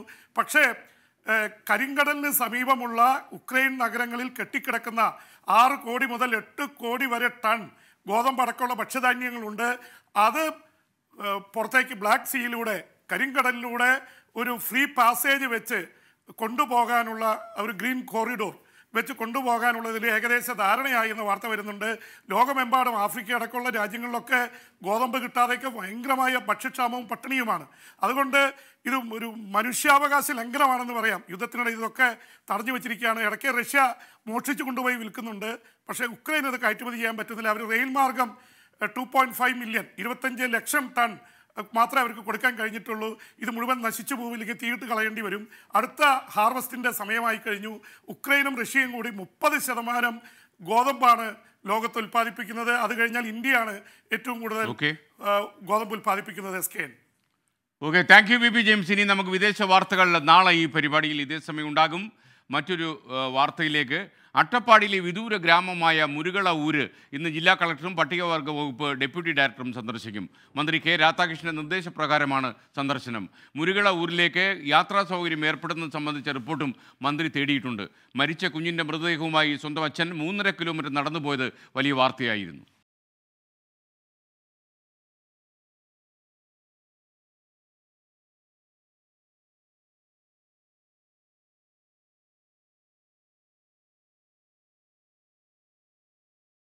നാലു മാസം മാത്രം പ്രായമുള്ള കുഞ്ഞിന്റെ മൃതദേഹവുമായി അച്ഛൻ മൂന്നര കിലോമീറ്റർ നടന്ന ഊരിലേക്കെത്തുന്ന കാഴ്ചകൾ കണ്ണു നനഞ്ഞാണ് ഓരോ മലയാളിയും കണ്ടു തീർത്തത്. മുരുകള ഊരിലെ അയ്യപ്പൻ സരസ്വതി ദമ്പതികളുടെ നാലു മാസം മാത്രം പ്രായമുള്ള പെൺകുഞ്ഞാണ് മരിച്ചത്. കുട്ടിയുടെ പോസ്റ്റ്മോർട്ടം നടപടികൾ കഴിഞ്ഞ് മടങ്ങി വരുന്ന സമയത്തെ ദൃശ്യങ്ങളാണ് പുറത്തു വന്നത്. വി കെ ശ്രീകണ്ഠൻ എം പിയാണ് മന്ത്രി കെ രാധാകൃഷ്ണന്റെ ശ്രദ്ധയിൽ വിഷയമെത്തിച്ചത്. ഊരിലേക്കുള്ള യാത്രാ സൗകര്യം ഏർപ്പെടുത്തുന്നത് സംബന്ധിച്ച് റിപ്പോർട്ട് തേടിയ മന്ത്രി പാലക്കാട് ജില്ലാ കളക്ടർ മൃണ്മയി ജോഷിയോടും ഡെപ്യൂട്ടി ഡയറക്ടർ കെ കൃഷ്ണപ്രകാശിനോടും ഊര് സന്ദർശിക്കാൻ ആവശ്യപ്പെട്ടിട്ടുണ്ട്. മുക്കാലിയിൽ നിന്നും എട്ട് കിലോമീറ്റർ ദൂരെ തടിക്കുണ്ട് വരെ റോഡുണ്ട്. പിന്നീട് ഭവാനി പുഴയ്ക്ക് കുറുകെ പട്ടികവർഗ വകുപ്പ് നിർമ്മിച്ച തൂക്കുപാലം കടന്നു വേണം മുരുകള ഊരിലേക്കെത്താൻ. വാഹനം വരുന്ന റോഡില്ലെങ്കിലും നല്ലൊരു നടപ്പാതയെങ്കിലും ഊരിലേക്ക് വേണമെന്നതാണ് കോളനി നിവാസികളുടെ ആവശ്യം. ട്വന്റി പാലക്കാട്. എല്ലാ പ്രേക്ഷകർക്കും വീണ്ടും സ്വാഗതം. India Israel U A E U S എന്നീ രാജ്യങ്ങൾ ചേർന്ന് രൂപീകരിച്ച പുതിയ സഖ്യമായ ഐ ടു യു ടു ഉച്ചകോടി ഇന്ന് ചേരുകയാണ്. ശ്രീലങ്കയിലെ രാഷ്ട്രീയ സാഹചര്യം യോഗം ചർച്ച ചെയ്യും. പ്രധാനമന്ത്രി നരേന്ദ്രമോദി ഇന്ത്യയെ പ്രതിനിധീകരിച്ച് ഈ ഉച്ചകോടിയിൽ പങ്കെടുക്കുന്നുണ്ട്. രാജ് ഭക്ഷ്യസുരക്ഷ സാമ്പത്തിക സഹകരണം എന്നിവയും യോഗത്തിൽ ചർച്ചയാകും. വിശദാംശങ്ങളുമായി ഡൽഹിയിൽ നിന്ന് ആർ രാധാകൃഷ്ണൻ ടെലഫോൺ ലൈനിൽ ചേരുന്നു. രാധാകൃഷ്ണൻ കൂടുതൽ വിവരങ്ങൾ. എസ് കെ എൻ അന്താരാഷ്ട്ര സാഹചര്യത്തിൽ വലിയ പ്രസക്തിയുണ്ട്. ഇന്ന് ചേരുന്ന ഈ പുതിയ കൂട്ടായ്മയുടെ യോഗത്തിന് ഇന്ത്യയ്ക്ക് പിന്നാലെ ഇസ്രയേലും അമേരിക്കയും യു എയുമാണ് ഈ സഖ്യത്തിന്റെ ഭാഗമായിട്ട് പങ്കെടുക്കുന്നത്. വ്യത്യസ്ത വിഷയങ്ങളുണ്ട് അജണ്ടയിൽ. അതിൽ ഒന്ന് ശ്രീലങ്കയുമായി ബന്ധപ്പെട്ട വിഷയമാണ്. നിലവിലുള്ള സാഹചര്യത്തിൽ ശ്രീലങ്കയെ ഈ പ്രതിസന്ധിയിൽ നിന്ന് പുറത്തു കൊണ്ടുവരാൻ ആവശ്യമായിട്ടുള്ള സഹായമടക്കമുള്ള കാര്യങ്ങൾ ഈ യോഗം ചർച്ച ചെയ്യും. ഇന്ത്യ ആയിരിക്കും ഇക്കാര്യം ഉന്നയിക്കുക. പ്രധാനമന്ത്രി നരേന്ദ്രമോദി ആയിരിക്കും ഈ വെർച്വൽ യോഗത്തിൽ പങ്ക് വെർച്വൽ യോഗത്തിൽ ഇന്ത്യയെ പ്രതിനിധീകരിച്ച് പങ്കെടുക്കുന്നത്. വലിയ പ്രസക്തി പ്രത്യേകിച്ച് ഈ ഭീകരവാദ വിഷയങ്ങളുമായി ബന്ധപ്പെട്ടതടക്കം നിലനിൽക്കുന്ന പശ്ചാത്തലത്തിൽ ഈ കൂട്ടായ്മയ്ക്ക് പുതുതായിട്ടുണ്ട്. ക്വാഡിന് സമാന്തരമായിട്ടാണ് ഈ പുതിയ കൂട്ടായ്മയും യാഥാർത്ഥ്യമാകുന്നത്. ഓക്കെ താങ്ക് യു രാധാകൃഷ്ണൻ മറ്റൊരു വാർത്തയിലേക്ക്. രാജ്യത്തെ പ്രതിദിന കോവിഡ് കേസുകൾ ഇരുപതിനായിരം കടന്നു. ഇരുപത്തിനാല് മണിക്കൂറിനിടെ ഇരുപതിനായിരത്തി നൂറ്റി മുപ്പത്തൊമ്പത് പേർക്ക് കോവിഡ് സ്ഥിരീകരിച്ചു. മുപ്പത്തിയെട്ട് മരണവും റിപ്പോർട്ട് ചെയ്തു. പ്രതിദിന ടി പി ആർ അഞ്ച് ദശാംശം ഒന്ന് പൂജ്യം ശതമാനമാണ് വിശദാംശങ്ങളുമായി ഡൽഹിയിൽ നിന്ന് നിതിൻ അംബുജൻ ചേരുന്നു. നിതിൻ വിവരങ്ങൾ പറയൂ. എസ് കെ കഴിഞ്ഞ ദിവസത്തേക്കാൾ പത്തൊൻപത് ശതമാനത്തിന്റെ വർധനമാണ് പ്രതിദിന കോവിഡ് കേസുകളിൽ ഉണ്ടായിരിക്കുന്നത്. ഏകദേശം രണ്ടു മാസങ്ങൾക്ക് ശേഷമാണ് രാജ്യത്ത് വീണ്ടും പ്രതിദിന കോവിഡ് കേസുകൾ ഇരുപതിനായിരത്തിന് മുകളിലേക്ക് കടക്കുന്ന സാഹചര്യമായിരിക്കുന്നത്. അതോടൊപ്പം തന്നെ മരണസംഖ്യ മുപ്പത്തിയെട്ടായിരിക്കുന്നു. നിലവിൽ ഇപ്പോൾ ചികിത്സയിൽ കഴിയുന്നവരുടെ എണ്ണം ഒരു ലക്ഷത്തി നാൽപ്പതിനായിരത്തിന് അടുത്തെത്തി. അതോടൊപ്പം തന്നെ പ്രതിദിന ടി പി ആർ അഞ്ച് ശതമാനത്തിന് മുകളിൽ പോയിരിക്കുന്നു. എന്തായാലും മണിപ്പൂർ അടക്കമുള്ള ചില സംസ്ഥാനങ്ങളിൽ കോവിഡ് കേസുകൾ വ്യാപകമായി വർദ്ധിക്കുന്നതിനെ തുടർന്ന് ഇപ്പോൾ വീണ്ടും സ്കൂളുകളെല്ലാം തന്നെ അടക്കുന്ന ഒരു നടപടിയിലേക്ക് കടന്നിരിക്കുകയാണ്. കേരളം മഹാരാഷ്ട്ര ഡൽഹി അതോടൊപ്പം തന്നെ കർണാടക ബംഗാൾ. ഈ അഞ്ച് സംസ്ഥാനങ്ങളാണ് ഏറ്റവും കൂടുതൽ പ്രതിദിന കേസ് റിപ്പോർട്ട് ചെയ്യുന്ന ഒരു സാഹചര്യമുള്ളത്. എന്തായാലും കേന്ദ്ര ആരോഗ്യ മന്ത്രാലയം ഇപ്പോഴത്തെ സ്ഥിതിഗതികൾ നിരീക്ഷിച്ചു വരികയാണ്. സംസ്ഥാനങ്ങളോട് കൂടുതൽ ജാഗ്രത പാലിച്ച് മുന്നോട്ട് പോകണം എന്ന് തന്നെയാണ് നിർദ്ദേശം നൽകിയിരിക്കുന്നത്. S K thank you thank you Nithin Ambujan മറ്റൊരു വാർത്തയിലേക്ക്. മലപ്പുറം ജില്ലയിൽ വാഹന അപകടങ്ങൾ കുറയുന്നതായി കണക്കുകൾ സൂചിപ്പിക്കുന്നു. സമീപകാലത്ത് അപകട മരണങ്ങൾ വർദ്ധിച്ച സാഹചര്യത്തിൽ മോട്ടോർ വാഹന വകുപ്പ് ബോധവൽക്കരണവും പരിശോധനയും വർദ്ധിപ്പിച്ചതാണ് അപകടങ്ങൾ കുറയാൻ കാരണം. കഴിഞ്ഞ മാസം മാത്രം അൻപത് ലക്ഷത്തോളം രൂപയാണ് പിഴയായി ഈടാക്കിയത്. ഏപ്രിൽ മാസം മുപ്പത്തി ഒന്ന് പേരും മെയ് മാസം മുപ്പത് പേരുടെയും ജീവനുകളാണ് മലപ്പുറം ജില്ലയിലെ വിവിധ ഇടങ്ങളിലെ നിരത്തുകളിൽ പൊലിഞ്ഞത്. മുൻ വർഷങ്ങളെ അപേക്ഷിച്ച് മരണസംഖ്യ ഉയർന്നതോടെയാണ് മോട്ടോർ വാഹന വകുപ്പ് കർശന പരിശോധനയും ഒപ്പം വ്യത്യസ്തമായ വിവിധ ബോധവൽക്കരണവുമായി നിരത്തുകളിൽ സജീവമായത്. അപകടകരമായ ഡ്രൈവിംഗ് ലൈസൻസ് ഇല്ലാതെ വാഹനം ഓടിക്കൽ ഇരുചക്ര വാഹനങ്ങളിൽ മൂന്ന് പേരെ കയറ്റിയുള്ള യാത്ര വാഹനങ്ങളിലെ അനധികൃത രൂപമാറ്റം എന്നിവ കേന്ദ്രീകരിച്ചാണ് ഉദ്യോഗസ്ഥർ പരിശോധന നടത്തുന്നത്. Malappuram R T O enforcement R T ഒയുടെ നിർദ്ദേശപ്രകാരം നമ്മുടെ ജില്ലയിൽ എൻഫോഴ്സ്മെന്റ് വിഭാഗം ശക്തമായിട്ട് വാഹന പരിശോധനയും തേർഡ് ഐ എൻഫോഴ്സ്മെന്റും എല്ലാമായിട്ട് മുന്നോട്ട് പോയിക്കൊണ്ടിരിക്കുകയാണ്. ചെക്കിംഗ് കൊണ്ട് നമ്മൾ ഉദ്ദേശിക്കുന്നത് ഇത്ര മാത്രമേ ഉള്ളൂ. നമുക്ക് അപകട നിരക്കും മരണനിരക്കും കുറയ്ക്കാൻ പറ്റണം. വിവിധ നിയമലംഘനങ്ങൾക്കെതിരെ ജൂൺ മാസത്തിൽ മാത്രം ജില്ലയിലെ മോട്ടോർ വാഹന വകുപ്പ് പതിനാല് പേരുടെ ലൈസൻസ് സസ്പെൻഡ് ചെയ്തു. മൂന്ന് പേരെ വെച്ച് ഇരുചക്ര വാഹനങ്ങളിൽ യാത്ര ചെയ്തതിന് അമ്പത്തിരണ്ട് പേർക്കെതിരെയും അപകടകരമായ ഡ്രൈവിംഗിന് ഒമ്പത് പേർക്കെതിരെയും കൂളിംഗ് ഫിലിമിന് ഇരുന്നൂറ്റി പതിനെട്ടും ഹെൽമറ്റ് ധരിക്കാത്തതിന് ആയിരത്തി തൊള്ളായിരത്തി നാൽപ്പത്തി എട്ടും സീറ്റ് ബെൽറ്റ് ധരിക്കാത്തതിന് ഇരുപത്തി അഞ്ച് പേർക്കെതിരെയും ലൈസൻസ് ഇല്ലാതെ വാഹനമോടിച്ചതിന് നൂറ്റി അമ്പത്തി ഏഴ് കേസുകളും രജിസ്റ്റർ ചെയ്തു. ഇത്തരത്തിൽ രണ്ടായിരത്തി നാനൂറ്റി മുപ്പത്തി ഏഴ് കേസുകളിലായി നാൽപ്പത്തി ഒൻപത് ലക്ഷത്തി അമ്പത്തി ആറായിരത്തി അറുന്നൂറ്റി തൊണ്ണൂറ് രൂപയാണ് ജൂൺ മാസത്തിൽ മാത്രം പിഴ ചുമത്തിയത്. ട്വന്റി ഫോർ തിരൂർ എന്തായാലും ഈ വാഹന പരിശോധനകൾ നടക്കുന്നത് നല്ല കാര്യമാണ്. റോഡിൽ പുലിയുന്ന ജീവിതങ്ങളുടെ എണ്ണം കൂടി വരുന്നൊരു സാഹചര്യത്തിൽ. പ്രത്യേകിച്ചും വിനു ബാബു പറയുന്നു ദുബായിൽ ഞങ്ങൾ ഏറ്റവും കൂടുതൽ കാണുന്ന വാർത്ത ട്വന്റി ഫോറിന്റേതാണ് സന്തോഷം മിഡിൽ ഈസ്റ്റിലെ വിദേശ രാജ്യങ്ങളിലൊക്കെ തന്നെ ഒരുപാട് ആളുകൾ ട്വന്റി ഫോർ പ്രിഫർ ചെയ്യുന്നുവെന്ന് ഞങ്ങൾ മനസ്സിലാക്കുന്നു. നിങ്ങൾക്കെല്ലാവർക്കും നന്ദി. ടൂർ പാക്കേജിന് സ്വകാര്യ ബസ്സുകൾ അനുവദിക്കുമെന്ന് ഗതാഗത മന്ത്രി ആന്റണി രാജു. സ്വകാര്യ ബസ്സുകളുടെ നഷ്ടം നികത്താൻ ഇതുവഴി സാധിക്കും. നഷ്ടമില്ലാത്ത റൂട്ടുകളിൽ നിർത്തിവെച്ച K S R T C സർവീസുകൾ ഘട്ടം ഘട്ടമായി ആരംഭിക്കുമെന്നും എറണാകുളത്ത് പുതിയ K S R T C ഡിപ്പോയ്ക്കുള്ള നടപടികൾ ഗൗരവമായി പരിഗണിക്കുമെന്നും മന്ത്രി എന്ന് നിയമസഭയെ അറിയിച്ചു. അടുത്ത കാലത്തായി K S R T C ആരംഭിച്ച ഒരു പുതിയ സംവിധാനമാണിത്. അതിന് വളരെയേറെ പ്രോത്സാഹനജനകമായ ഒരു പിന്തുണയാണ് ജനങ്ങളിൽ നിന്ന് കിട്ടിക്കൊണ്ടിരിക്കുന്നത്. നല്ല വരുമാനവും അതിൽ നിന്ന് കിട്ടി തുടങ്ങിയിട്ടുണ്ട്. അത് വിപുലീകരിക്കുന്നതിനെക്കുറിച്ച് ആലോചിക്കുന്നുണ്ട്. പക്ഷേ ഒരു പ്രശ്നം നമുക്ക് ടൂർ ടൂറിസ്റ്റിനായി ടൂർ പോകാനായിട്ട് പലപ്പോഴും ആവശ്യം വരുന്നത് വീക്കെൻഡുകളിലാണ്. അപ്പോൾ വീക്കെൻഡുകളിൽ നമുക്ക് അഡീഷണൽ ബസ്സുകൾ കെ എസ് ആർ സി ബസ്സുകൾ സർവീസ് മുടക്കി നമുക്ക് പോകാൻ കഴിയില്ല.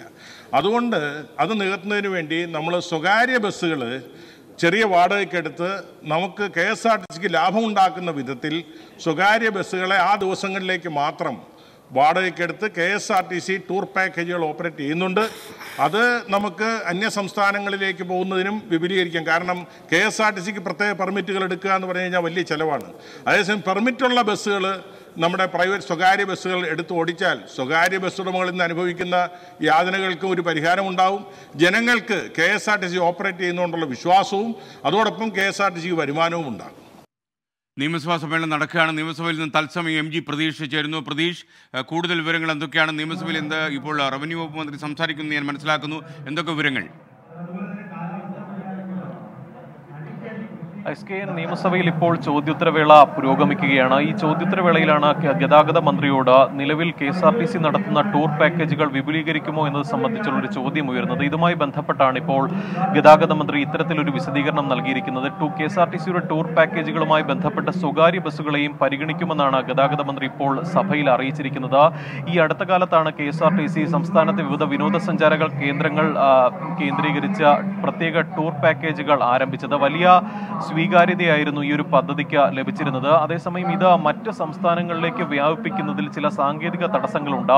ഈ കെ എസ് ആർ ടി സിക്ക് മറ്റ് സംസ്ഥാനത്തേക്ക് പോകുമ്പോൾ പെർമിറ്റ് എടുക്കുന്നതിൽ കെ എസ് ആർ ടി സിക്ക് വലിയ ബാധ്യതയുണ്ട്. ഈ ഒരു സാഹചര്യത്തിൽ സ്വകാര്യ ബസ്സുകളെ കൂടി പങ്കെടുപ്പിച്ചുകൊണ്ടുള്ള ഒരു പദ്ധതിയാണ് ഇപ്പോൾ സർക്കാർ ആലോചിക്കുന്നതെന്നാണ് ഗതാഗത മന്ത്രി നൽകുന്ന വിശദീകരണം. ഇത് സാമ്പത്തിക പ്രതിസന്ധിയിൽ വലയുന്ന സ്വകാര്യ ബസ് ഉടമകൾക്ക് വലിയ സഹായകമാകുമെന്നും മന്ത്രി പറയുന്നുണ്ട്. എന്തായാലും ഇത്തരത്തിൽ നേരത്തെ തന്നെ ഈ സ്വകാര്യ ബസ്സുകൾ ചില ഇടങ്ങളിലൊക്കെ ചില ചില റൂട്ടുകളിലൊക്കെ തന്നെ K S R T C ചെറിയ വാടകയ്ക്ക് സ്വകാര്യ ബസ്സുകൾ ഈ ടൂർ പാക്കേജ് പദ്ധതികളിൽ ഉൾപ്പെടുത്തിയിരുന്നു. എന്നാൽ അത് ആദ്യകാലത്ത് ചെറിയ വിമർശനങ്ങൾ നേരിട്ടിരുന്നു. K S R T C ബസ്സുകളോട് സ്നേഹം കൊണ്ടാണ് ഇത്തരത്തിൽ ടൂർ പാക്കേജുകൾ കെ എസ് ആർ ടി സിയുടെ തന്നെ പ്രത്യേക ടൂർ പദ്ധതികൾ തിരഞ്ഞെടുക്കാൻ തിരഞ്ഞെടുത്തത്. അതുകൊണ്ട് തന്നെ ഇത്തരത്തിൽ K S R T C ബസ്സുകളിൽ തന്നെ ആയിരിക്കണം ഇത്തരത്തിൽ പാക്കേജുകൾ എന്നായിരുന്നു നേരത്തെ ജനങ്ങളുടെ ഒരു പ്രതികരണം. അതേസമയം ഇത്തരത്തിൽ അന്തർ സംസ്ഥാന യാത്രകൾ നടത്തുമ്പോൾ കെ എസ് ആർ ടി സിക്ക് അത്തരത്തിൽ ടൂർ പാക്കേജുകൾ സംഘടിപ്പിക്കുന്നതിന് ചില പരിമിതികളുണ്ട്. ഈ ഒരു സാഹചര്യത്തിലാണ് ഇപ്പോൾ സ്വകാര്യ ബസ്സുകളെ കൂടി പങ്കെടുപ്പിച്ചുകൊണ്ട്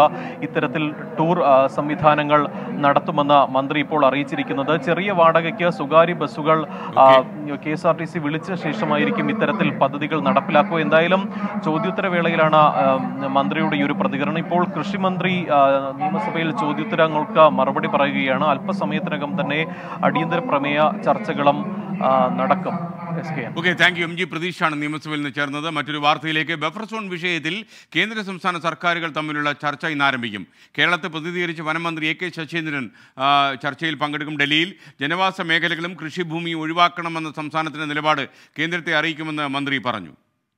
നമ്മുടെ കേരളത്തിന്റെ നിയമസഭ പാസാക്കിയ പ്രമേയം പരിസ്ഥിതി മേഖലയായി ഏതെങ്കിലും ലോല മേഖലയായി ഏതെങ്കിലും പ്രദേശത്തെ പ്രഖ്യാപിക്കുന്നത് അങ്ങനെ പ്രഖ്യാപിക്കുന്ന ഘട്ടത്തിൽ ജനവാസ മേഖലയെയും കൃഷിയിടങ്ങളെയും പൂർണമായും ഒഴിവാക്കണമെന്നാണ്.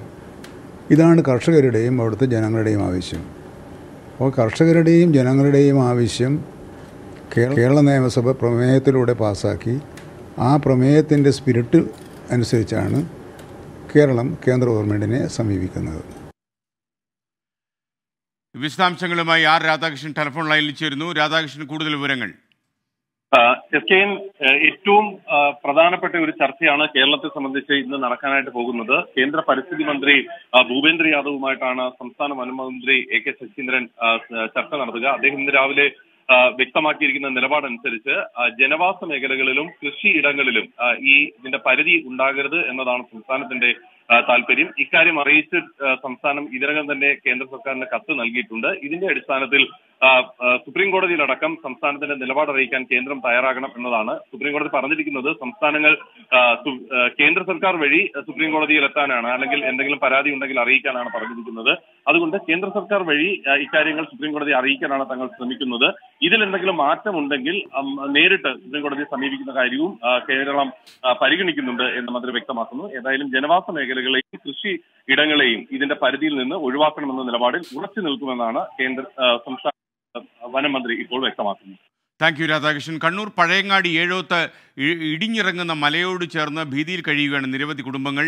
ഒട്ടേറെ വീടുകളാണ് ഇവിടെ തകർച്ച ഭീഷണി നേരിടുന്നത്. ഭൂമിയും വീടുകളും സംരക്ഷിക്കാനുള്ള പദ്ധതി ആവിഷ്കരിച്ച് നടപ്പാക്കണമെന്നാണ് നാട്ടുകാരുടെ ഇപ്പോഴത്തെ ആവശ്യം. ആവർത്തിക്കുന്ന ഉരുൾപൊട്ടൽ ഭൂമിയിൽ ആഴത്തിലുള്ള വിള്ളൽ ഏഴോ മുട്ടുകണ്ടിയിലെ ജനങ്ങളുടെ ഭീതി ഒഴിയുന്നില്ല. കഴിഞ്ഞ ദിവസമുണ്ടായ ഉരുൾപൊട്ടലിൽ വീടുകൾ നശിക്കുകയും ഇരുന്നൂറ് മീറ്റർ നീളത്തിൽ മണ്ണ് ഇടിഞ്ഞിറങ്ങുകയും ചെയ്തു. നിരവധി ദളിത് കുടുംബങ്ങളടക്കം അധിവസിക്കുന്ന മേഖലയിൽ നിന്ന് പലരും ഇതിനകം കുടിയൊഴിഞ്ഞു. കുന്നിടിച്ചിലിൽ സംഭവിച്ചാണ് കാരണം ശക്തമായിട്ടുള്ള മഴയിൽ കംപ്ലീറ്റ് മരങ്ങൾ ഇങ്ങോട്ട് താഴേക്ക് ഇറങ്ങുന്ന സമയത്താണ് സംഭവിച്ചത്. പതിനെട്ടടിയോളം താഴ്ചയിലേക്ക് അത് താണു വന്നിട്ടുണ്ട്. ഭൗമശാസ്ത്ര വിദഗ്ധ സംഘവും മണ്ണ് ജലസംരക്ഷണ വകുപ്പിലെ ഉദ്യോഗസ്ഥരും സ്ഥലത്തെത്തി പരിശോധന നടത്തണമെന്നും ആവശ്യം. ഉന്നത ഉദ്യോഗസ്ഥന്മാർ ഈ മൂന്ന് ദിവസമായിട്ടും ജില്ലാ കലക്ടറോ ബന്ധപ്പെട്ട റവന്യൂ അധികൃതരോ ഈ സ്ഥലം സന്ദർശിച്ചില്ല. ആകെ പേരിന് മാത്രം ഇന്നലെ വില്ലേജ് ഓഫീസർ വന്ന് ഒരു റിപ്പോർട്ട് തയ്യാറാക്കി കൊടുത്തു എന്നല്ലാതെ ഇവിടുത്തെ തഹസിൽദാരോ അല്ലെങ്കിൽ വേണ്ടപ്പെട്ട ദുരന്ത നിവാരണ അതോറിറ്റിയുടെ ഡെപ്യൂട്ടി കളക്ടർ ആളുകൾ ആരും വന്നിരുന്നില്ല. അതുകൊണ്ട് ഞങ്ങൾക്ക് പറയാനുള്ളത് ഇവിടുത്തെ ഈ പ്രദേശത്തിന്റെ ഭൂമിയുടെ ഘടന അത് പരിശോധിക്കേണ്ടത് ഭൗമശാസ്ത്ര വിഭാഗമാണ്. ഇവിടെ മുൻപ് രണ്ടു തവണ ഉരുൾപൊട്ടി നിരവധി വീടുകൾ തകർന്നിരുന്നു. പിന്നാലെ ഭൂമി സംരക്ഷിക്കാൻ പ്രത്യേക പദ്ധതിയും ആവിഷ്കരിച്ചു. എന്നാൽ മുഴുവൻ സ്ഥലത്തും ഇത് നടപ്പായില്ല. കലക്ടറും ദുരന്ത നിവാരണ അതോറിറ്റി ഉദ്യോഗസ്ഥരും ആവശ്യമായ ഇടപെടൽ നടത്തുന്നില്ലെന്നും ആക്ഷേപം. Twenty Kannur. I C S C തദ്ദേശീയ ദേശീയ ഗെയിംസ് കബഡി ചാമ്പ്യൻഷിപ്പിൽ കേരളത്തിന് കിരീടം. മഹാഗുരു ഇൻസ്റ്റിറ്റ്യൂട്ട് ഓഫ് ടെക്നോളജിയിലെ വിദ്യാർത്ഥികളാണ് കേരളത്തിന് വേണ്ടി കളത്തിലിറങ്ങിയത്. വിജയികൾക്ക് കോളേജിന്റെ നേതൃത്വത്തിൽ സ്വീകരണം ഒരുക്കി കായംകുളത്ത്.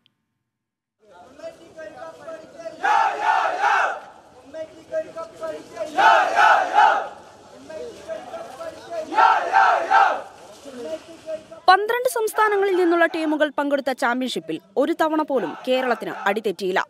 മഹാഗുരു ഇൻസ്റ്റിറ്റ്യൂട്ട് ഓഫ് ടെക്നോളജിയിലെ വിദ്യാർത്ഥികൾ കരുത്തന്മാരായ മഹാരാഷ്ട്രയെയും മിസോറാമിനെയും പിടിച്ചുകെട്ടി. ഫൈനലിൽ ഉത്തരാഖണ്ഡിനെ തോൽപ്പിച്ചായിരുന്നു കിരീട നേട്ടം. വളരെയേറെ അഭിമാനകരമായ ഒരു നിമിഷമാണ്. പോയ കുട്ടികൾക്കെല്ലാം വളരെയേറെ സന്തോഷം നൽകുന്ന നിമിഷങ്ങളായിരുന്നു ഈ കഴിഞ്ഞ ദിവസങ്ങളിൽ കടന്നു പോയിക്കൊണ്ടിരുന്നത് ഒരുപാട് സന്തോഷമുണ്ട് മാനേജ്മെന്റിനും അധ്യാപകർക്കും അതുപോലെ സപ്പോർട്ട് ചെയ്ത പേരൻസ് സ്റ്റുഡൻസ് എല്ലാവർക്കും ഒരുപാട് ഒരുപാട് സന്തോഷമുണ്ട്. കേരളത്തിന്റെ അഭിമാന താരങ്ങൾക്ക് ആവേശോജ്വലമായ സ്വീകരണമാണ് കായംകുളത്തൊരുക്കിയത്. വരണിക്കാവ് പഞ്ചായത്തിന്റെയും തട്ടച്ചിറ മഹാഗുരു എഞ്ചിനീയറിംഗ് കോളേജിന്റെയും ഒരു അഭിമാനമായി ഒരു തിലവക്കുറിയായി അത് മാറിക്കഴിഞ്ഞിരിക്കുകയാണ്. കേരളത്തിന്റെ തന്നെ ഒരു അഭിമാനപരമായി മാറിക്കഴിഞ്ഞിരിക്കുകയാണ്. വിജയിച്ച കേരള ടീമിന് മഹാഗുരു ഇൻസ്റ്റിറ്റ്യൂട്ട് ഓഫ് ടെക്നോളജിയിലെ മാനേജ്മെന്റ് ആശംസ നേർന്നു. Twenty four Alappuzha. ഇതോടെ മോർണിംഗ് ഷോയുടെ ഇന്നത്തെ മോർണിംഗ് ഷോ അവസാനിക്കുന്നു. ഇനി നമ്മൾ കണ്ടുമുട്ടുക നാളെ രാവിലെ ഏഴ് മണിക്ക് ഇനി ബ്രേക്കിംഗ് ന്യൂസിന്റെ ഊഴം സുജയ പാർവതി ചേരുന്നു. ഗുഡ് ബൈ ലോകത്തെവിടെയായാലും ഏത് സമയത്തും ട്വന്റി ഫോർ വാർത്തകളും ഓക്മെന്റഡ് റിയാലിറ്റി പാക്കേജുകളും എക്സ്പ്ലെയിനറുകളും വിശദമായി കാണാൻ ഞങ്ങളുടെ യൂട്യൂബ് ചാനൽ നിങ്ങൾക്ക് സബ്സ്ക്രൈബ് ചെയ്യാം.